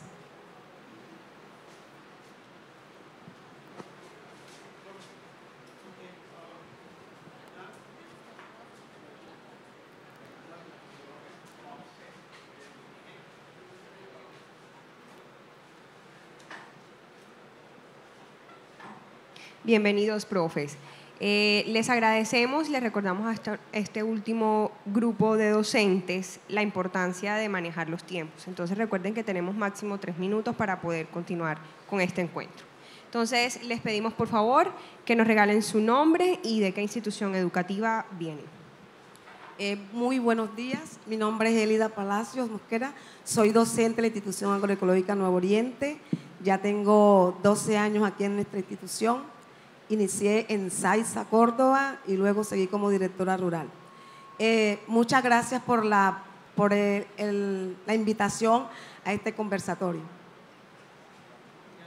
Buenos días, mi nombre es Lilia Lozano Romero, docente de esta prestigiosa institución, la cual está comprometida con el desarrollo rural y también aspiro, Dios mediante, seguir formando futuros educadores. Gracias. Eh, buenos días, mi nombre es Manuel Padilla, soy de la tierra de nuestro presidente, Ciénaga de Oro, Córdoba, la tierra del Casabe. Eh, hago parte de, de este prestigioso equipo de la futura normal superior del Alto Sinú. Entonces, muchas gracias por esta invitación. Gracias, profe. Sin más preámbulo, entonces, quiero preguntarles, ¿qué debería suceder en el aula y en la escuela para que podamos identificar fortalezas y dificultades en el proceso de aprendizaje de los niños, niñas, adolescentes y jóvenes y estructurar planes diferenciados? ¿Cómo debería ser la evaluación de los colegios? Bueno, les cuento, nuestra institución eh, se dio de cuenta que a veces algunas eh, pedagogías que estábamos utilizando no daban resultados y entonces a raíz de la lectura de contexto que realizamos para poder convertirnos en normal, futura normal superior del Alto Sinú, eh, organizamos nuestro plan de estudio por ejes de formación. Y dentro de ello nos dimos de cuenta que era muy importante trabajarle al pensamiento crítico. De allí iniciamos a trabajar con un plan lector que lo iniciamos desde el grado preescolar hasta el grado 11. Eh, ese plan lector tiene un día a la semana que se le dedica un tiempo para poder desarrollar las actividades en clase. Eh, cada grado eh, nos unimos en los lugares de pensamiento y escogimos los títulos, los textos que vamos a leer durante el año. Yo soy docente del grado quinto y en estos momentos mis estudiantes ya se leyeron un texto llamado el Caballero de la Armadura Oxidada. Ellos, nosotros hicimos la lectura de ese texto y fue una experiencia súper espectacular. El Día del Idioma, todos los grados presentaron sus libros y, los grados quinto fue una cosa majestuosa. El segundo libro que nos vamos a leer se llama eh, Patricio Pico y Pluma. Aspiramos que en este año nos leamos tres libros eh, para que los niños pues le despertemos esa habilidad en la lectura. También eh, dentro de nuestro plan lector, yo hice un picnic literario, porque ustedes saben que, bueno, no nos gusta leer y nuestra meta es que este año nos leamos tres textos. Entonces yo nos ideamos un picnic, ese picnic consiste, bueno, mandé a hacer unas pañoletas y el día que nos toca leer nos vamos hacia los lugares eh, libres del colegio, traen frutas o dulces y allí leemos y esa lectura pues me parece que ha sido como más significativa porque yo les veo que no tienen pereza para leer, se leen un capítulo, dos capítulos, y no es solamente leer. Ellos cuando ya terminamos el capítulo, fácilmente dan a conocer qué quería decir ese capítulo, sacan los aspectos más importantes, los personajes, el ambiente, eh, la tienen súper clara. Entonces, nuestro colegio está motivando a todos los estudiantes en el pensamiento crítico, especialmente la lectura, porque consideramos que de ahí es una de las buenas estrategias que permite que el, estudiante aprenda a pensar y que sepa qué quiere ser, porque si nosotros no sabemos leer, no sabemos qué queremos ser en nuestro futuro. Gracias. Bueno, eh, considero que lo que debe pasar dentro de un aula de clases para identificar quizás esas fortalezas y esas debilidades de los estudiantes es aplicar metodologías activas, distintas estrategias didácticas o lúdico-didácticas que nos permiten identificar como tal dichas fortalezas o debilidades. Eh, mi compañero Ever anteriormente mencionó algunas que nosotros como institución estamos aplicando desde el aula de clases Em, resalto el proyecto de aula o em, proyecto de, eh, perdón, em, sí, proyecto de aula como tal, o plan de clases, eso. a través de esta, esta, esta estrategia nos ayuda a fomentar la investigación como tal, a fortalecerla, que es un área que nosotros le estamos también dando como que mucho énfasis en la institución em, todas estas herramientas sirven para los futuros normalistas superiores, ya que ellos necesitan como estas bases para también ejecutarlas cuando ellos lleguen a ser docentes. Em, aparte de ello, evaluamos, em, pues aparte de la evaluación que se hace normalmente, que es la formativa, la sumativa, la diagnóstica, también nosotros como institución valoramos la inteligencia de los estudiantes, no solo la capacidad que ellos tienen como para desarrollarse en cierta área como tal, sino tener en cuenta todo ese tipo pues, de inteligencia que ellos tienen y los estilos de aprendizaje, porque hay muchos estudiantes que quizás eh, no son buenos en matemática, pero sí en la ciencia. Otra estrategia que utilizamos es la metodología STEAM, que pues nos ayuda como tal a integrar, ¿ya? Eh, o a, transversalizar las áreas para ello. Entonces, bueno, eso es todo lo que nosotros pues quizás llevamos a cabo. Muchas gracias. Bueno, este, yo a esa pregunta le tengo tres momentos importantes. El primer momento es hacer un diagnóstico. Definitivamente nosotros como, como docentes debemos conocer a nuestros estudiantes. Es como cuando el vendedor llega donde su cliente, tiene que hacer un buen contacto, luego conocer a su cliente y hacer un buen cierre. Lo mismo pasa con los docentes. Debemos conocer a nuestros estudiantes. Aquí juega un papel importante y armar un plan sobre visitas domiciliarias.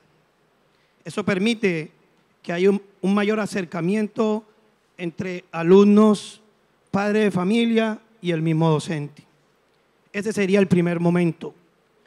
El segundo momento entraría en un juego la diversidad de las actividades, en donde es importante la creatividad de cada uno de nosotros, donde juega un papel eh, súper, yo diría súper importante en la parte auditiva, la parte visual y lo kinésico. Entonces, esos tres aspectos nos conllevan a que se lleven a cabo esa gran diversidad de, actividades. Y por último, eh, está el momento de la evaluación. Definitivamente debemos dejar de, de calificar, dejar a un lado lo, tradicional. Y yo creo que es un tema que, nos preocupa mucho los docentes, a, todos, a cada uno de nosotros los docentes, en la parte de la evaluación. Y ya estamos aquí en nuestra institución eh, estudiando un poco más eh, la parte de la evaluación formativa. Estamos allí en ese proceso y pienso que, es muy importante. que Esa evaluación formativa, eh, tuve la oportunidad de estar en una charla y tiene unos ocho pasos muy fundamentales. Eh, pienso que vamos bien enfocados acá en nuestra institución y la idea después es que cada día estos procesos académicos sean mejores.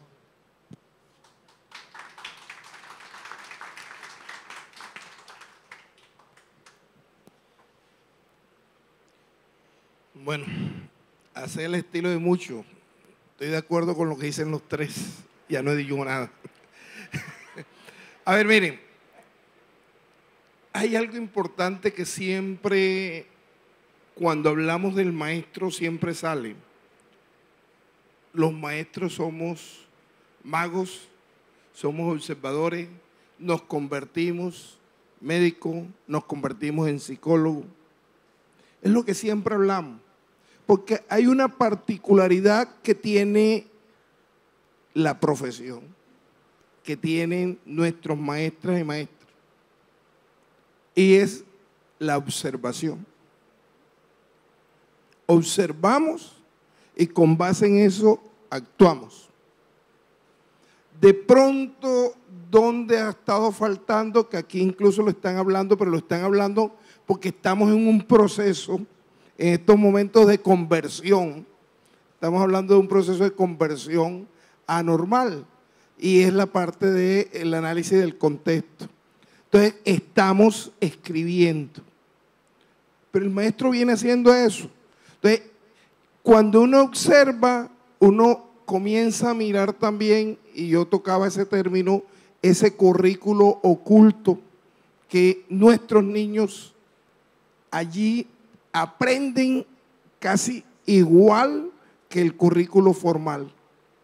Entonces, la única manera que nos permite para de ahí seguir proyectando actividades es a través de la observación y ahí sí vendrán las actividades de crear diferentes tipos de clubes, o sea, diferentes tipos de actividades, pero partimos es de ese punto de vista que normalmente y que sabemos hacer bien los maestros, que es la observación.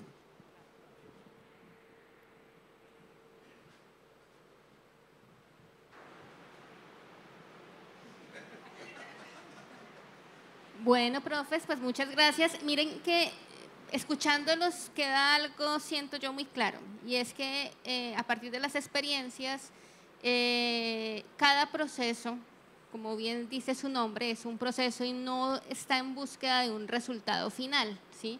Lo que se valora tal vez sea la interacción, el proceso en sí mismo, lo que ocurre en el intermedio de. Y ahí hay una vuelta que darle entonces a la evaluación, porque la evaluación no termina siendo un proceso finalista al final de, sino que tal vez podríamos pensárnosla al inicio. Y al inicio como, como en el sentido pedagógico y la naturaleza pedagógica que nos plantea la evaluación formativa, y es que nos sirve para entender que los niños y las niñas se desarrollan de manera distinta que la evaluación debe ser a la medida de cada niño y cada niña y no de manera homogénea como si todos fuesen iguales, ¿no? Eso por un lado. Por otro lado, la evaluación formativa pues nos permite precisamente hacer eso que ustedes están diciendo hacen, que es pensar, diseñar, crear, planear estrategias pedagógicas que apunten a ese desarrollo, a esa formación integral del niño y de la niña a partir de sus propias capacidades, intereses y gustos. Entonces, pues ahí hay unas preguntas claves que, que, siento nos debemos hacer todos los maestros y maestras cuando vamos a empezar un proceso de formación. Y creo, y creo que las voy a leer porque me parece que es poderoso poderlas decir. ¿Qué aprendizajes quiero lograr con las actividades planteadas? Porque un proyecto pedagógico, porque un centro de interés, porque un semillero, porque lo que sea que vaya a ser. Eh, ¿Qué saben los estudiantes, sobre el tema que quiero trabajar? ¿En qué nivel están y qué les falta aprender? Y eso pone la evaluación al comienzo del proceso, ¿no? Es, es que, ¿cómo debo yo entrar en ese ejercicio y cómo debo identificar unas necesidades particulares de esos niños y niñas? ¿Con qué actividades puedo cerrar la brecha entre los aprendizajes actuales y a los que quiero llegar? Siempre que hago una planeación, siempre que planteo un proyecto, debo saber hacia dónde quiero ir y a dónde quiero llegar. Y pues los niños y las niñas en esa ruta tienen unos conocimientos, unos saberes, unos aprendizajes que yo debo identificar para saber hasta dónde debo ir.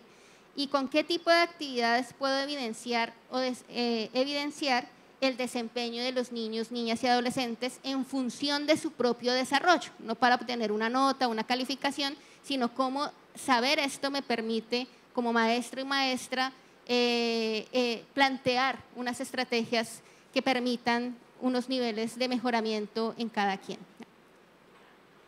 Hay un enlace con Suacha, ¿verdad? Pero entonces, eh, porque sería muy divertido escuchar, ¿y el ICFES qué? Pero de pronto no hay tiempo ahora para eso. Vamos a esperar. vamos a esperar, vamos con una experiencia desde otra parte del país, pero no sin antes darle las gracias a ustedes por estar acá. Gracias, profes.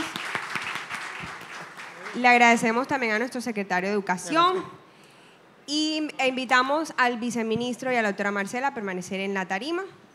Entonces, queremos, bueno, estamos muy felices de estar aquí, pero estos, estos espacios también se continuarán llevando a cabo desde los diversos territorios, para así escuchar a nuestros maestros y maestras a lo largo del país es de resaltar la cantidad de experiencias significativas que desarrollan nuestros maestros y maestras en los territorios. Por eso queremos conocer una experiencia inspiradora que se lleva a cabo en Popayán.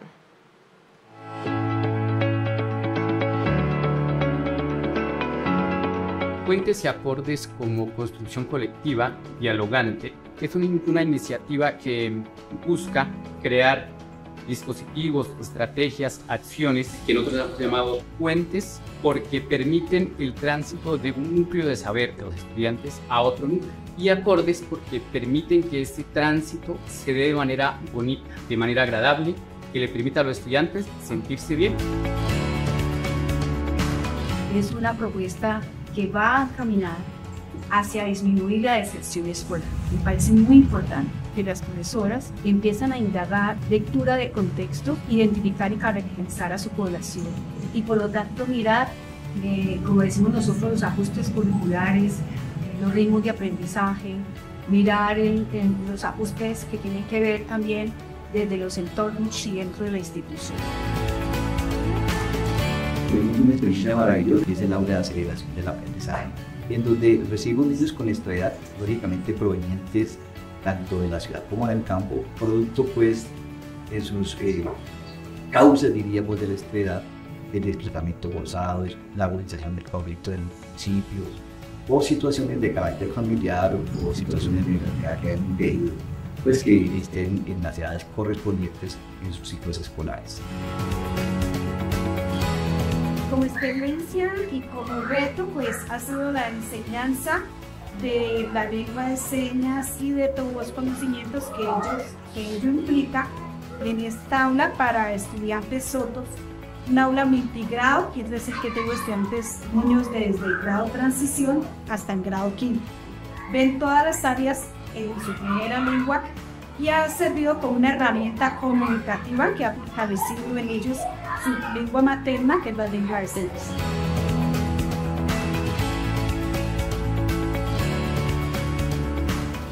Me gusta aquí en el colegio, me gusta cuando me enseña la profesora, es un espacio donde puedo aprender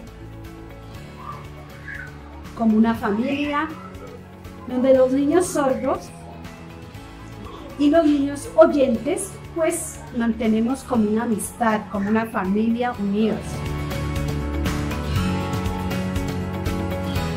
Mi nombre es María Eugenia Muñoz Ortega. Nuestra experiencia de Fuentes y Acordes tiene dos objetivos puntuales. Uno tiene que ver con el desarrollo de las habilidades de, eh, comunicativas y matemáticas en los niños y el otro de la transformación de la práctica pedagógica de los maestros. Mi profesor es María Eugenia, es una persona carismática, muy buena persona. Ella no me trabaja con nosotros con un solo cuaderno. Es bueno porque me queda el bolso más liviano. Y eh, a pesar de que es en un solo cuaderno, no hay un revoltorio tan tan tan tan. tan. Eh, nos ayuda a organizar las cosas, las materias y muchas otras cosas. Soy docente de la sala aceleración del aprendizaje y teniendo en cuenta que es una sala que tenemos una eh, población muy diversa, con discapacidades y niños vulnerables, esperamos que a futuro la experiencia de puentes y acordes posibilite que ya no rotulemos más a los niños, que entendamos que la diversidad es una condición natural y que los puentes deben extenderse eh, desde la primaria hasta el bachillerato, la educación media y la educación universitaria, para que todos los niños y las niñas puedan acceder en iguales condiciones a una educación de calidad.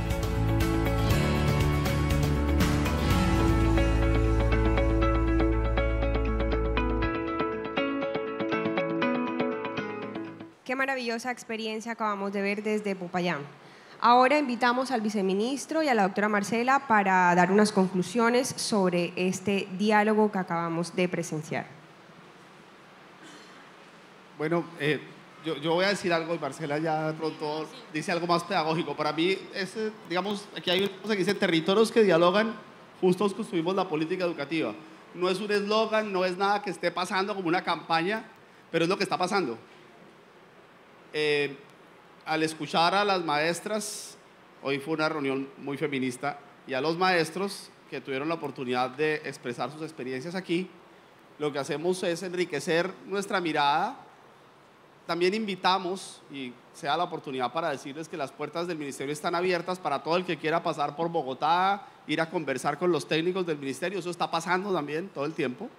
Ha sido muy revelador para muchas personas allí en el ministerio, tiene que seguir pasando, eh, porque repito lo que decía hace un rato, el ministerio está lejos de sus maestras, sus maestros, 336 seres humanos que constituyen el cuerpo más importante de conocimiento de Colombia de lejos. No hay ninguna institución, ningún sector, ningún sistema, nada en Colombia que acumule la experiencia de conocimiento y los años de escolaridad formal también, porque aquí hay un grupo muy amplio de normalistas, licenciados, especialistas, magíster, doctores que están en nuestras escuelas, eh, pero ese conocimiento no dialoga realmente del territorio a la nación, de la nación al territorio. Entonces es lo que está pasando, es algo que estamos haciendo como podemos. Lo que yo sueño es que dentro de muy pocos meses, yo llevo un mes de viceministro, que dentro de muy pocos meses sea la dinámica natural de lo que nos sucede. Que estemos realmente dialogando desde el territorio, entre los territorios y podamos construir una gran comunidad de conocimiento y una gran comunidad de pasión y de sentimiento entre todas las maestras y maestros. Y que haya sido el Día del Maestro que se da la oportunidad de escuchar a estas personas hoy aquí es para mí enriquecedor. Espero que sea también significativo para todas ustedes y todos ustedes y nos permita que ustedes corran la voz de que el ministerio quiere, quiere escuchar, tiene ganas de oír. Yo no sacaría una conclusión, solamente diría estamos recogiendo ideas, estamos recogiendo realidades y estamos eh, pensando cómo en lo que resta de este año, que ya es el, casi el primer año de gobierno del presidente Gustavo Petro, la vicepresidenta Francia Márquez y nuestra ministra de Educación Aurora Vergara desde hace dos meses, también estuvo allí el ministro Alejandro Gaviria durante unos meses, que en, que lo que resta de este año escolar, digamos, consolidemos este movimiento. Em, sigamos haciendo muchas cosas, estamos buscando, por ejemplo, hacer mejoramientos de infraestructura, estamos buscando eh, que el material didáctico del ministerio sea mucho más amplio, que recoja mucho más la realidad, eso va a pasar, sigamos trabajando en temas ambientales, culturales, deportivos, tecnológicos, etcétera pero yo lo que sueño es que ya el año 2024 se note un año escolar en el cual cuando nos veamos para celebrar el Día del Maestro en mayo del 24 de un año estemos hablando de una escuela en la que se siente que las cosas son eh, por lo menos un poco distintas. Aquí, por supuesto, en el Departamento de Córdoba hemos encontrado una enorme receptividad. Muchas gracias, secretario. El señor gobernador nos estuvo visitando hace unos días. Eh, es un departamento donde sabemos que están pasando cosas importantes con la educación, que también es difícil. El sector educativo siempre es difícil, nada es sencillo, eso, eso no esperamos que nada sea fácil, ni automático, ni rápido, no, no somos ingenuos. Em, pero en particular aquí en Tierra Alta y en particular aquí en esta institución educativa, rector, es que es un cariño muy grande el que yo le tengo porque yo sí he visto, yo pues he tenido la oportunidad de estar aquí, pero también de estar con muchos y muchas de ustedes en muchas otras partes, pues yo tuve el privilegio de ser siete años largos director de Educapaz, gracias a Juana Yunis, que ahora me ha sucedido como directora, que es de aquí, de esta tierra, que vive en esta tierra. Eh, yo he tenido la oportunidad de saber que aquí se salvan vidas todos los días. ¿sí? Y eso no tiene precio y se lo agradezco de todo corazón a esta comunidad y en cabeza suya, señor rector, muy amable.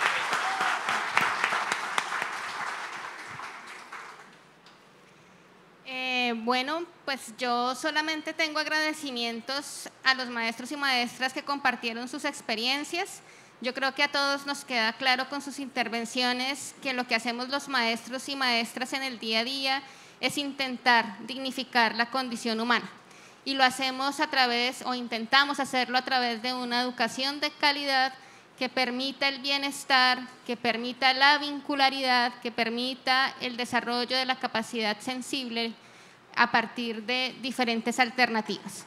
De verdad, maestros y maestras, que muchas gracias. Como lo decía el profe, eh, muchos maestros y maestras salvan vidas, como lo decía también nuestro señor viceministro hace algunas semanas atrás. Eh, y, y, esa es la tarea, ¿no? Es dignificar, es salvar vidas, es salvar el planeta, es eh, encontrarnos con una realidad en el aula a la, que, a la que le podemos hacer frente. Si escuchamos las voces de los niños y las niñas, los entendemos como agentes protagonistas, cuando generamos un ambiente democrático y participativo, cuando eh, evidenciamos lo que sucede en el aula, cuando hay brechas de género, cuando hay brechas socioeconómicas, cuando hay una cantidad de brechas que se presentan en el día a día y que como maestros y maestros tenemos la sabiduría de poder revisar nuestras prácticas y hacerle frente eh, a partir de esa idea.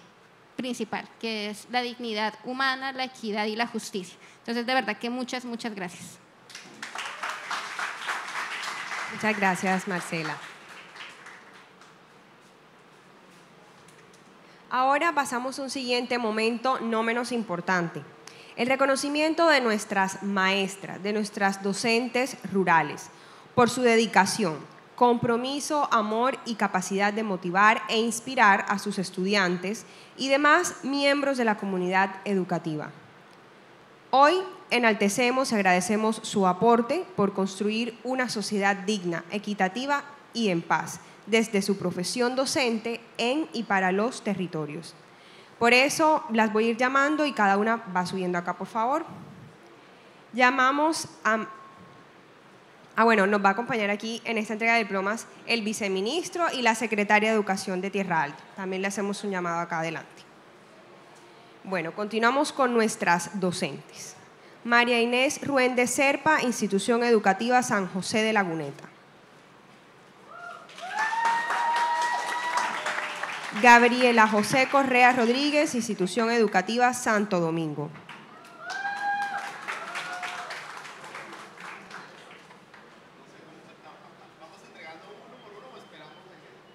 Sí, vamos a ir entregando, vamos a ir entregando. Entonces, profe Marínez.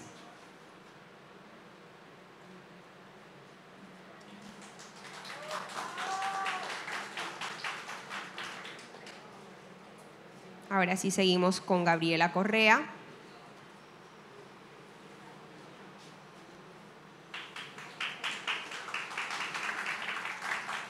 Continuamos con Ruth Vega Macías, Institución Educativa Álvaro Ulcue Chocue. Ulcue Chocue.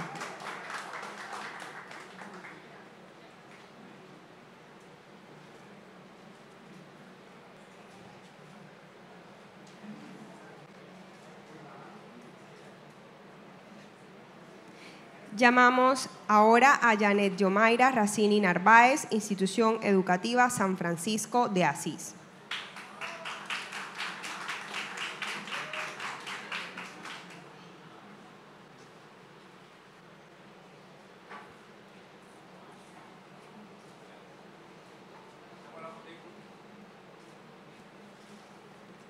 Llamamos a Sujei Patricia Plaza Martínez, Institución Educativa Morrocoy.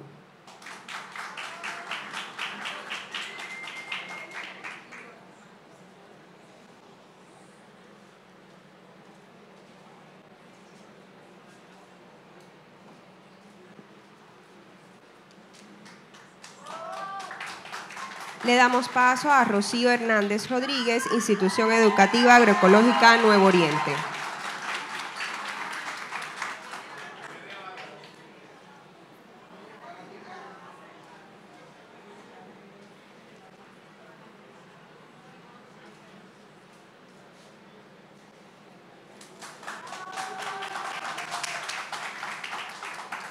Llamamos a Herminia Patricia Vergara Paternina, Institución Educativa Heredia.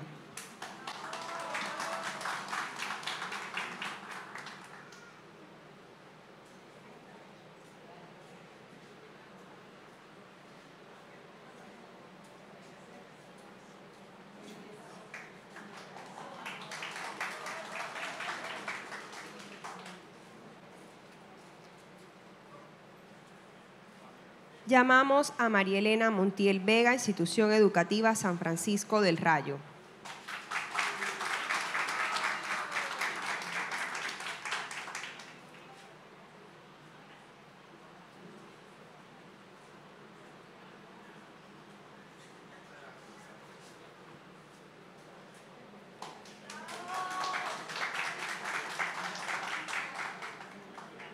Llamamos a Baidut Ávila Vuelvas, Institución Educativa Buenos Aires, Las Pavas.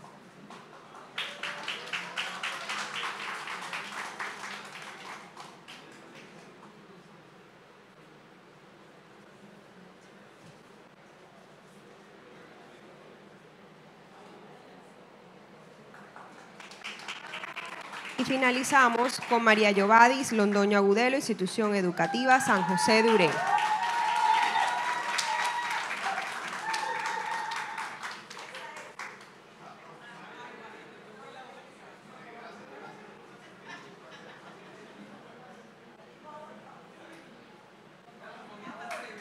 Queremos ahora invitar a todas nuestras 10 docentes acá adelante, por favor, para tomarnos una fotografía grupal.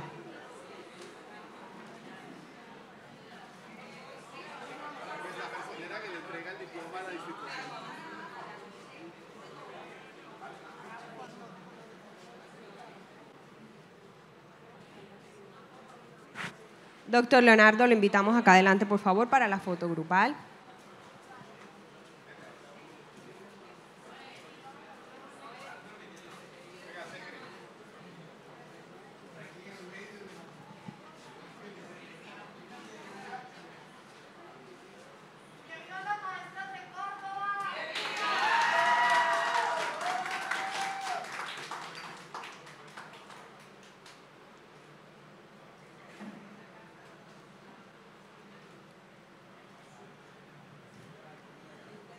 Muchas gracias a nuestras docentes. Un fuerte aplauso para ellas.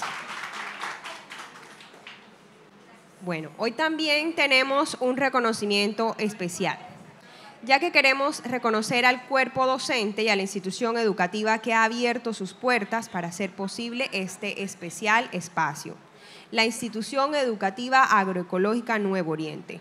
Le damos paso al señor rector para hacerle entrega también de su reconocimiento.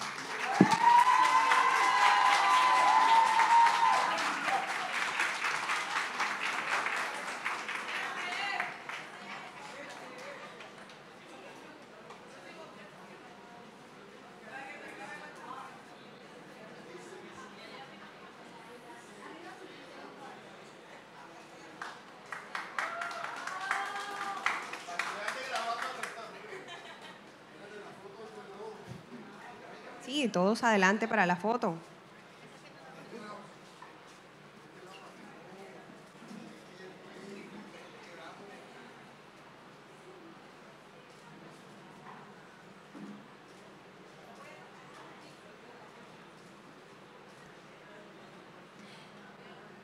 Muchas gracias, señor rector. Le damos el espacio para unas cortas palabras, si se quiere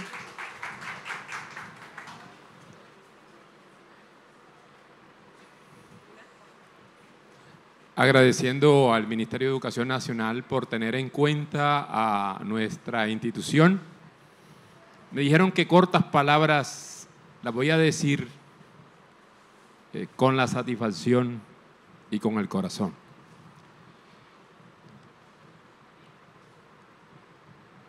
Este día quedará en la historia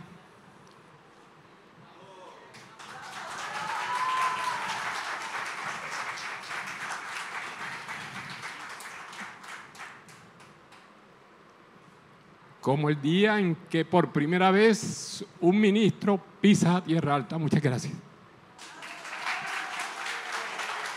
Muchas gracias, profe.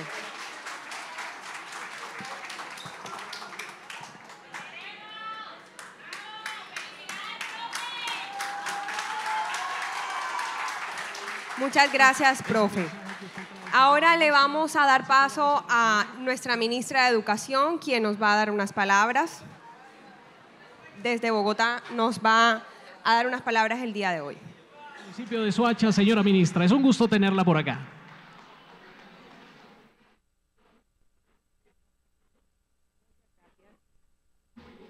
Muchas gracias. Maestras, maestros, hoy es un día para honrar su labor, un día para exaltar su dedicación y todo su trabajo. A todo el equipo del Ministerio de Educación Nacional que ha hecho este momento posible también, muchas gracias. Quisiera plantearles varios mensajes para el día de hoy y de la misma manera reconocer la presencia de todas las estudiantes, los estudiantes que nos acompañan. Es fundamental para el Ministerio de Educación Nacional en este día felicitarles, reconocer su labor y también plantearles algunos mensajes esenciales. El primero, que como gobierno nacional estamos poniendo la educación de calidad y pertinente en el centro. Ustedes nos han planteado hoy una serie de observaciones que son fundamentales para mover esa agenda hacia adelante en perspectiva territorial. Cuando hablamos de educación de calidad y pertinencia, por supuesto que tenemos que tener en consideración la equidad territorial. que un territorio como este nos permita tomar decisiones contextualizadas, que nos permita reconocer el impacto de tantos fenómenos para de esa manera tomar decisiones de aumento de cobertura, por ejemplo, en preescolar, que nos permita, como lo hemos planteado en el Plan Nacional de Desarrollo, que por lo menos 2.700.000 niños y niñas entre 3 y 5 años estén en el sistema. Hoy reconocimos a una docente de preescolar que sabe muy bien la importancia de garantizar que las más chiquitas y los más chiquitos tengan la mejor educación posible para que no les debamos cuando lleguen aquí, cuando lleguen con cinco años a preescolar, no les debamos muchos años de formación. Así que esa va a ser una apuesta importante, va a ser una apuesta importante que ustedes estarán escuchando y estarán viendo esa transformación. Estamos trabajando con el ICBF en articulación para garantizar que esa transformación institucional pues tenga los mejores resultados posibles. Esa educación de calidad también se manifiesta en una infraestructura educativa digna y ustedes tienen toda la razón cuando nos manifiestan que la escuela debe ser un entorno digno. Lo que va a pasar después de este encuentro es que nos vamos a reunir con la Secretaría de Educación.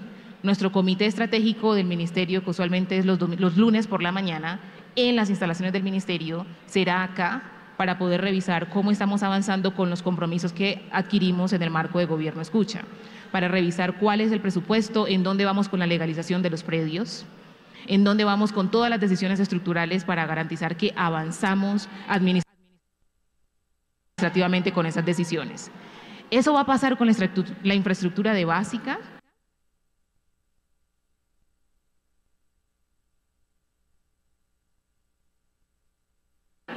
pero también con la infraestructura de superior. El señor presidente anunció en el marco de gobierno escucha también una nueva sede universitaria en esta región. Entonces vamos a avanzar en ese propósito, vamos a escuchar la Universidad de Cundinamarca cómo va con esa gestión, porque nuestra promesa es garantizar que avanzamos en el cumplimiento y les entregamos resultados muy pronto. Esa educación de calidad y pertinente también se manifiesta en garantizar una mejor formación para ustedes.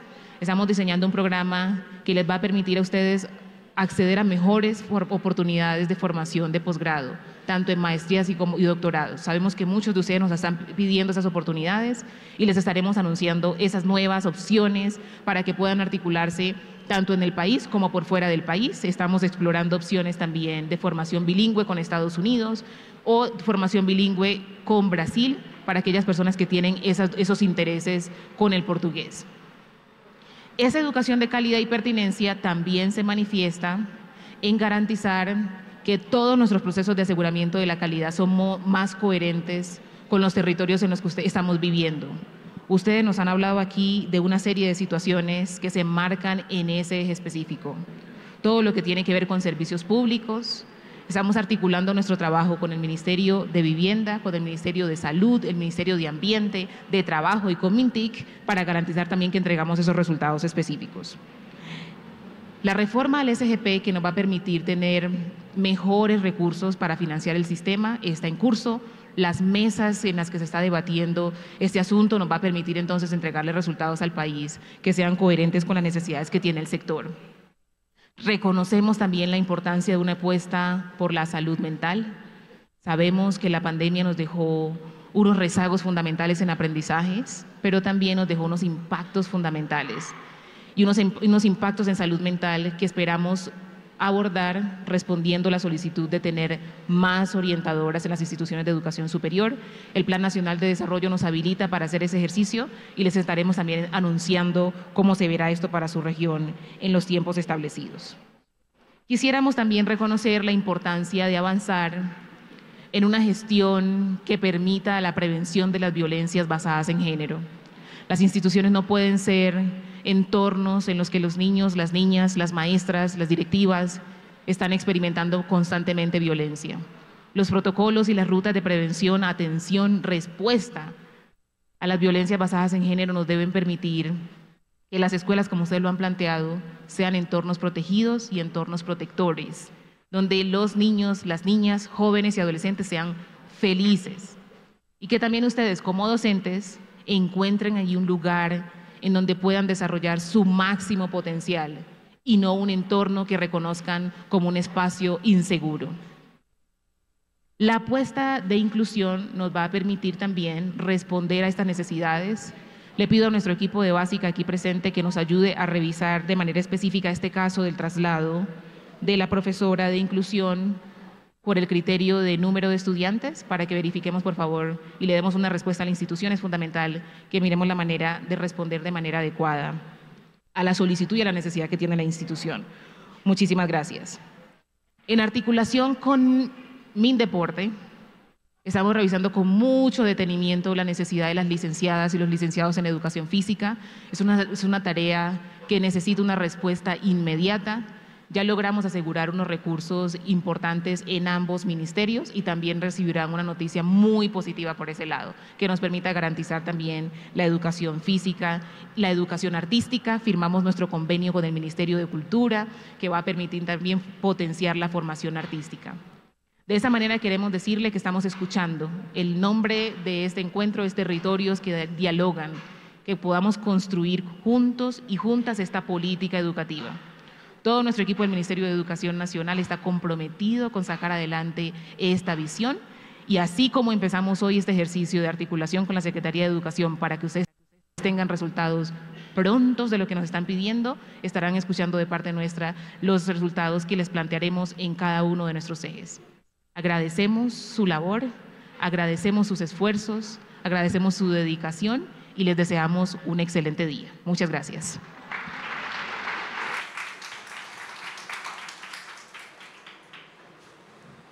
Bueno, esperamos, bueno, todavía no hemos terminado, pero esperamos que eh, este encuentro de verdad esté siendo de total agrado. Eh, bueno, también celebramos a nuestros docentes, pero realmente hoy el espacio es para nuestras docentes, sobre todo a nuestras docentes rurales, que sabemos que realmente realizan una labor maratónica para llevar esta educación de calidad integral a todos nuestros estudiantes.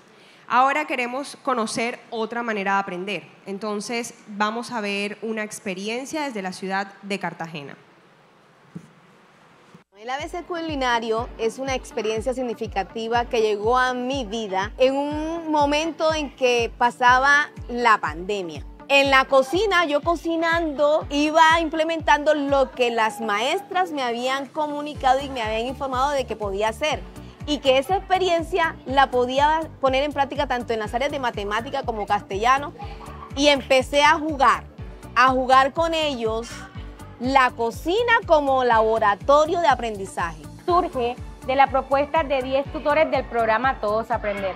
En los acompañamientos de aula nos dimos cuenta que nuestros estudiantes tenían dificultades para los procesos literarios y matemáticos. ¿Qué es lo más importante? Que le dimos un toque, un enfoque culinario para que pudieran trabajar no solo en el salón, sino también desde las casas en proyectos de hogar con las familias. Comenzamos nosotros eh, realmente a buscar esas herramientas que nos ayudaran a poder llevar la lectura desde otro contexto, a que el niño en el aula de clase viera las matemáticas diferentes, a que vieran que eh, los padres de familia, que a través de la cocina había muchas herramientas para que los estudiantes pudieran eh, aprender en casa. Los muchachos tienen en cuenta los procesos de comunicar, de razonar, de modelar, de ejercitar, inclusive hasta tienen esa, esa forma de resolver problemas que es el macroproceso en el área de matemáticas. Y en el área de castellano se, la parte de comunicación y la lectoescritura. Dentro de los cuentos matemáticos se trabajaron perímetro, área, figuras geométricas, el reloj, todo este tipo de situaciones que mm, muy pocos escriben sobre eso. Se escriben cuentos, poesía, pero nunca se había escrito algo referente hacia las matemáticas. El ABC culinario me enseña a cocinar y ahí mismo me enseña el respeto, aprendo muchas áreas aprendo matemática, aprendo castellano. Me gusta ir a la clase de cocina porque aprendí sobre los números, aprendí a escribir una literatura. En la facilidad de la práctica y de la cotidianidad podemos encontrar cosas maravillosas y que el desarrollo de los saberes se hace desde la casa y también desde la escuela. En la clase de cocina aprendo a dividir, a multiplicar, a leer. Tiene un poquito de matemática, de lengua castellana. Ser maestra significa una explosión de emociones. Llanto, risa, emoción. Eso es saber que existe una profesión que no tiene límites. Y sin mis estudiantes yo no soy nadie. Compasión, amor, respeto y responsabilidad y disciplina. Yo creo que seremos los mejores maestros siempre. El que quiere puede y lo va a hacer con excelencia. Y eso es lo que tenemos que apostarle a un maestro de corazón.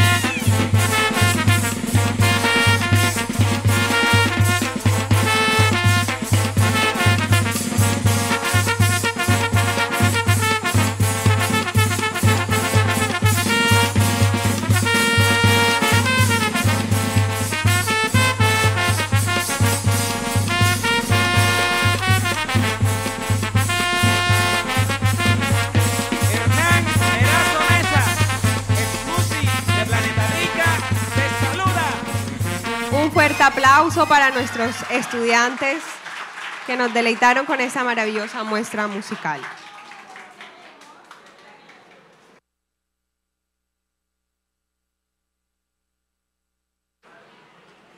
Le damos paso a nuestro siguiente grupo de estudiantes.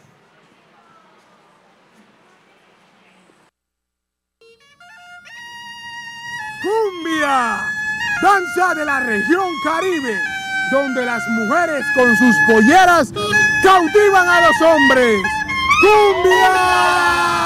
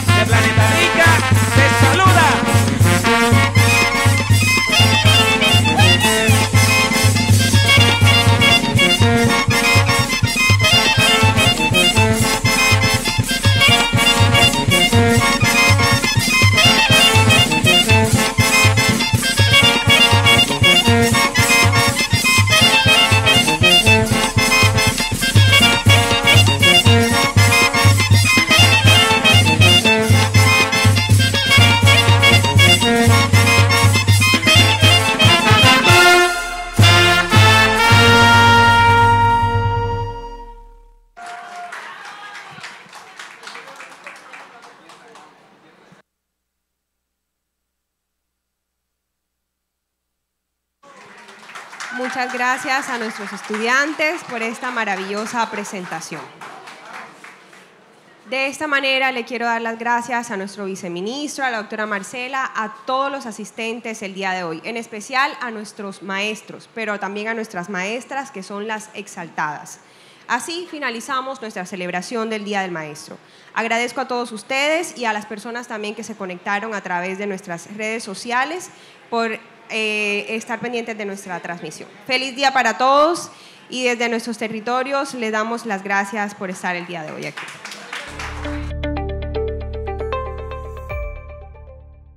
Colombia, potencia de la vida.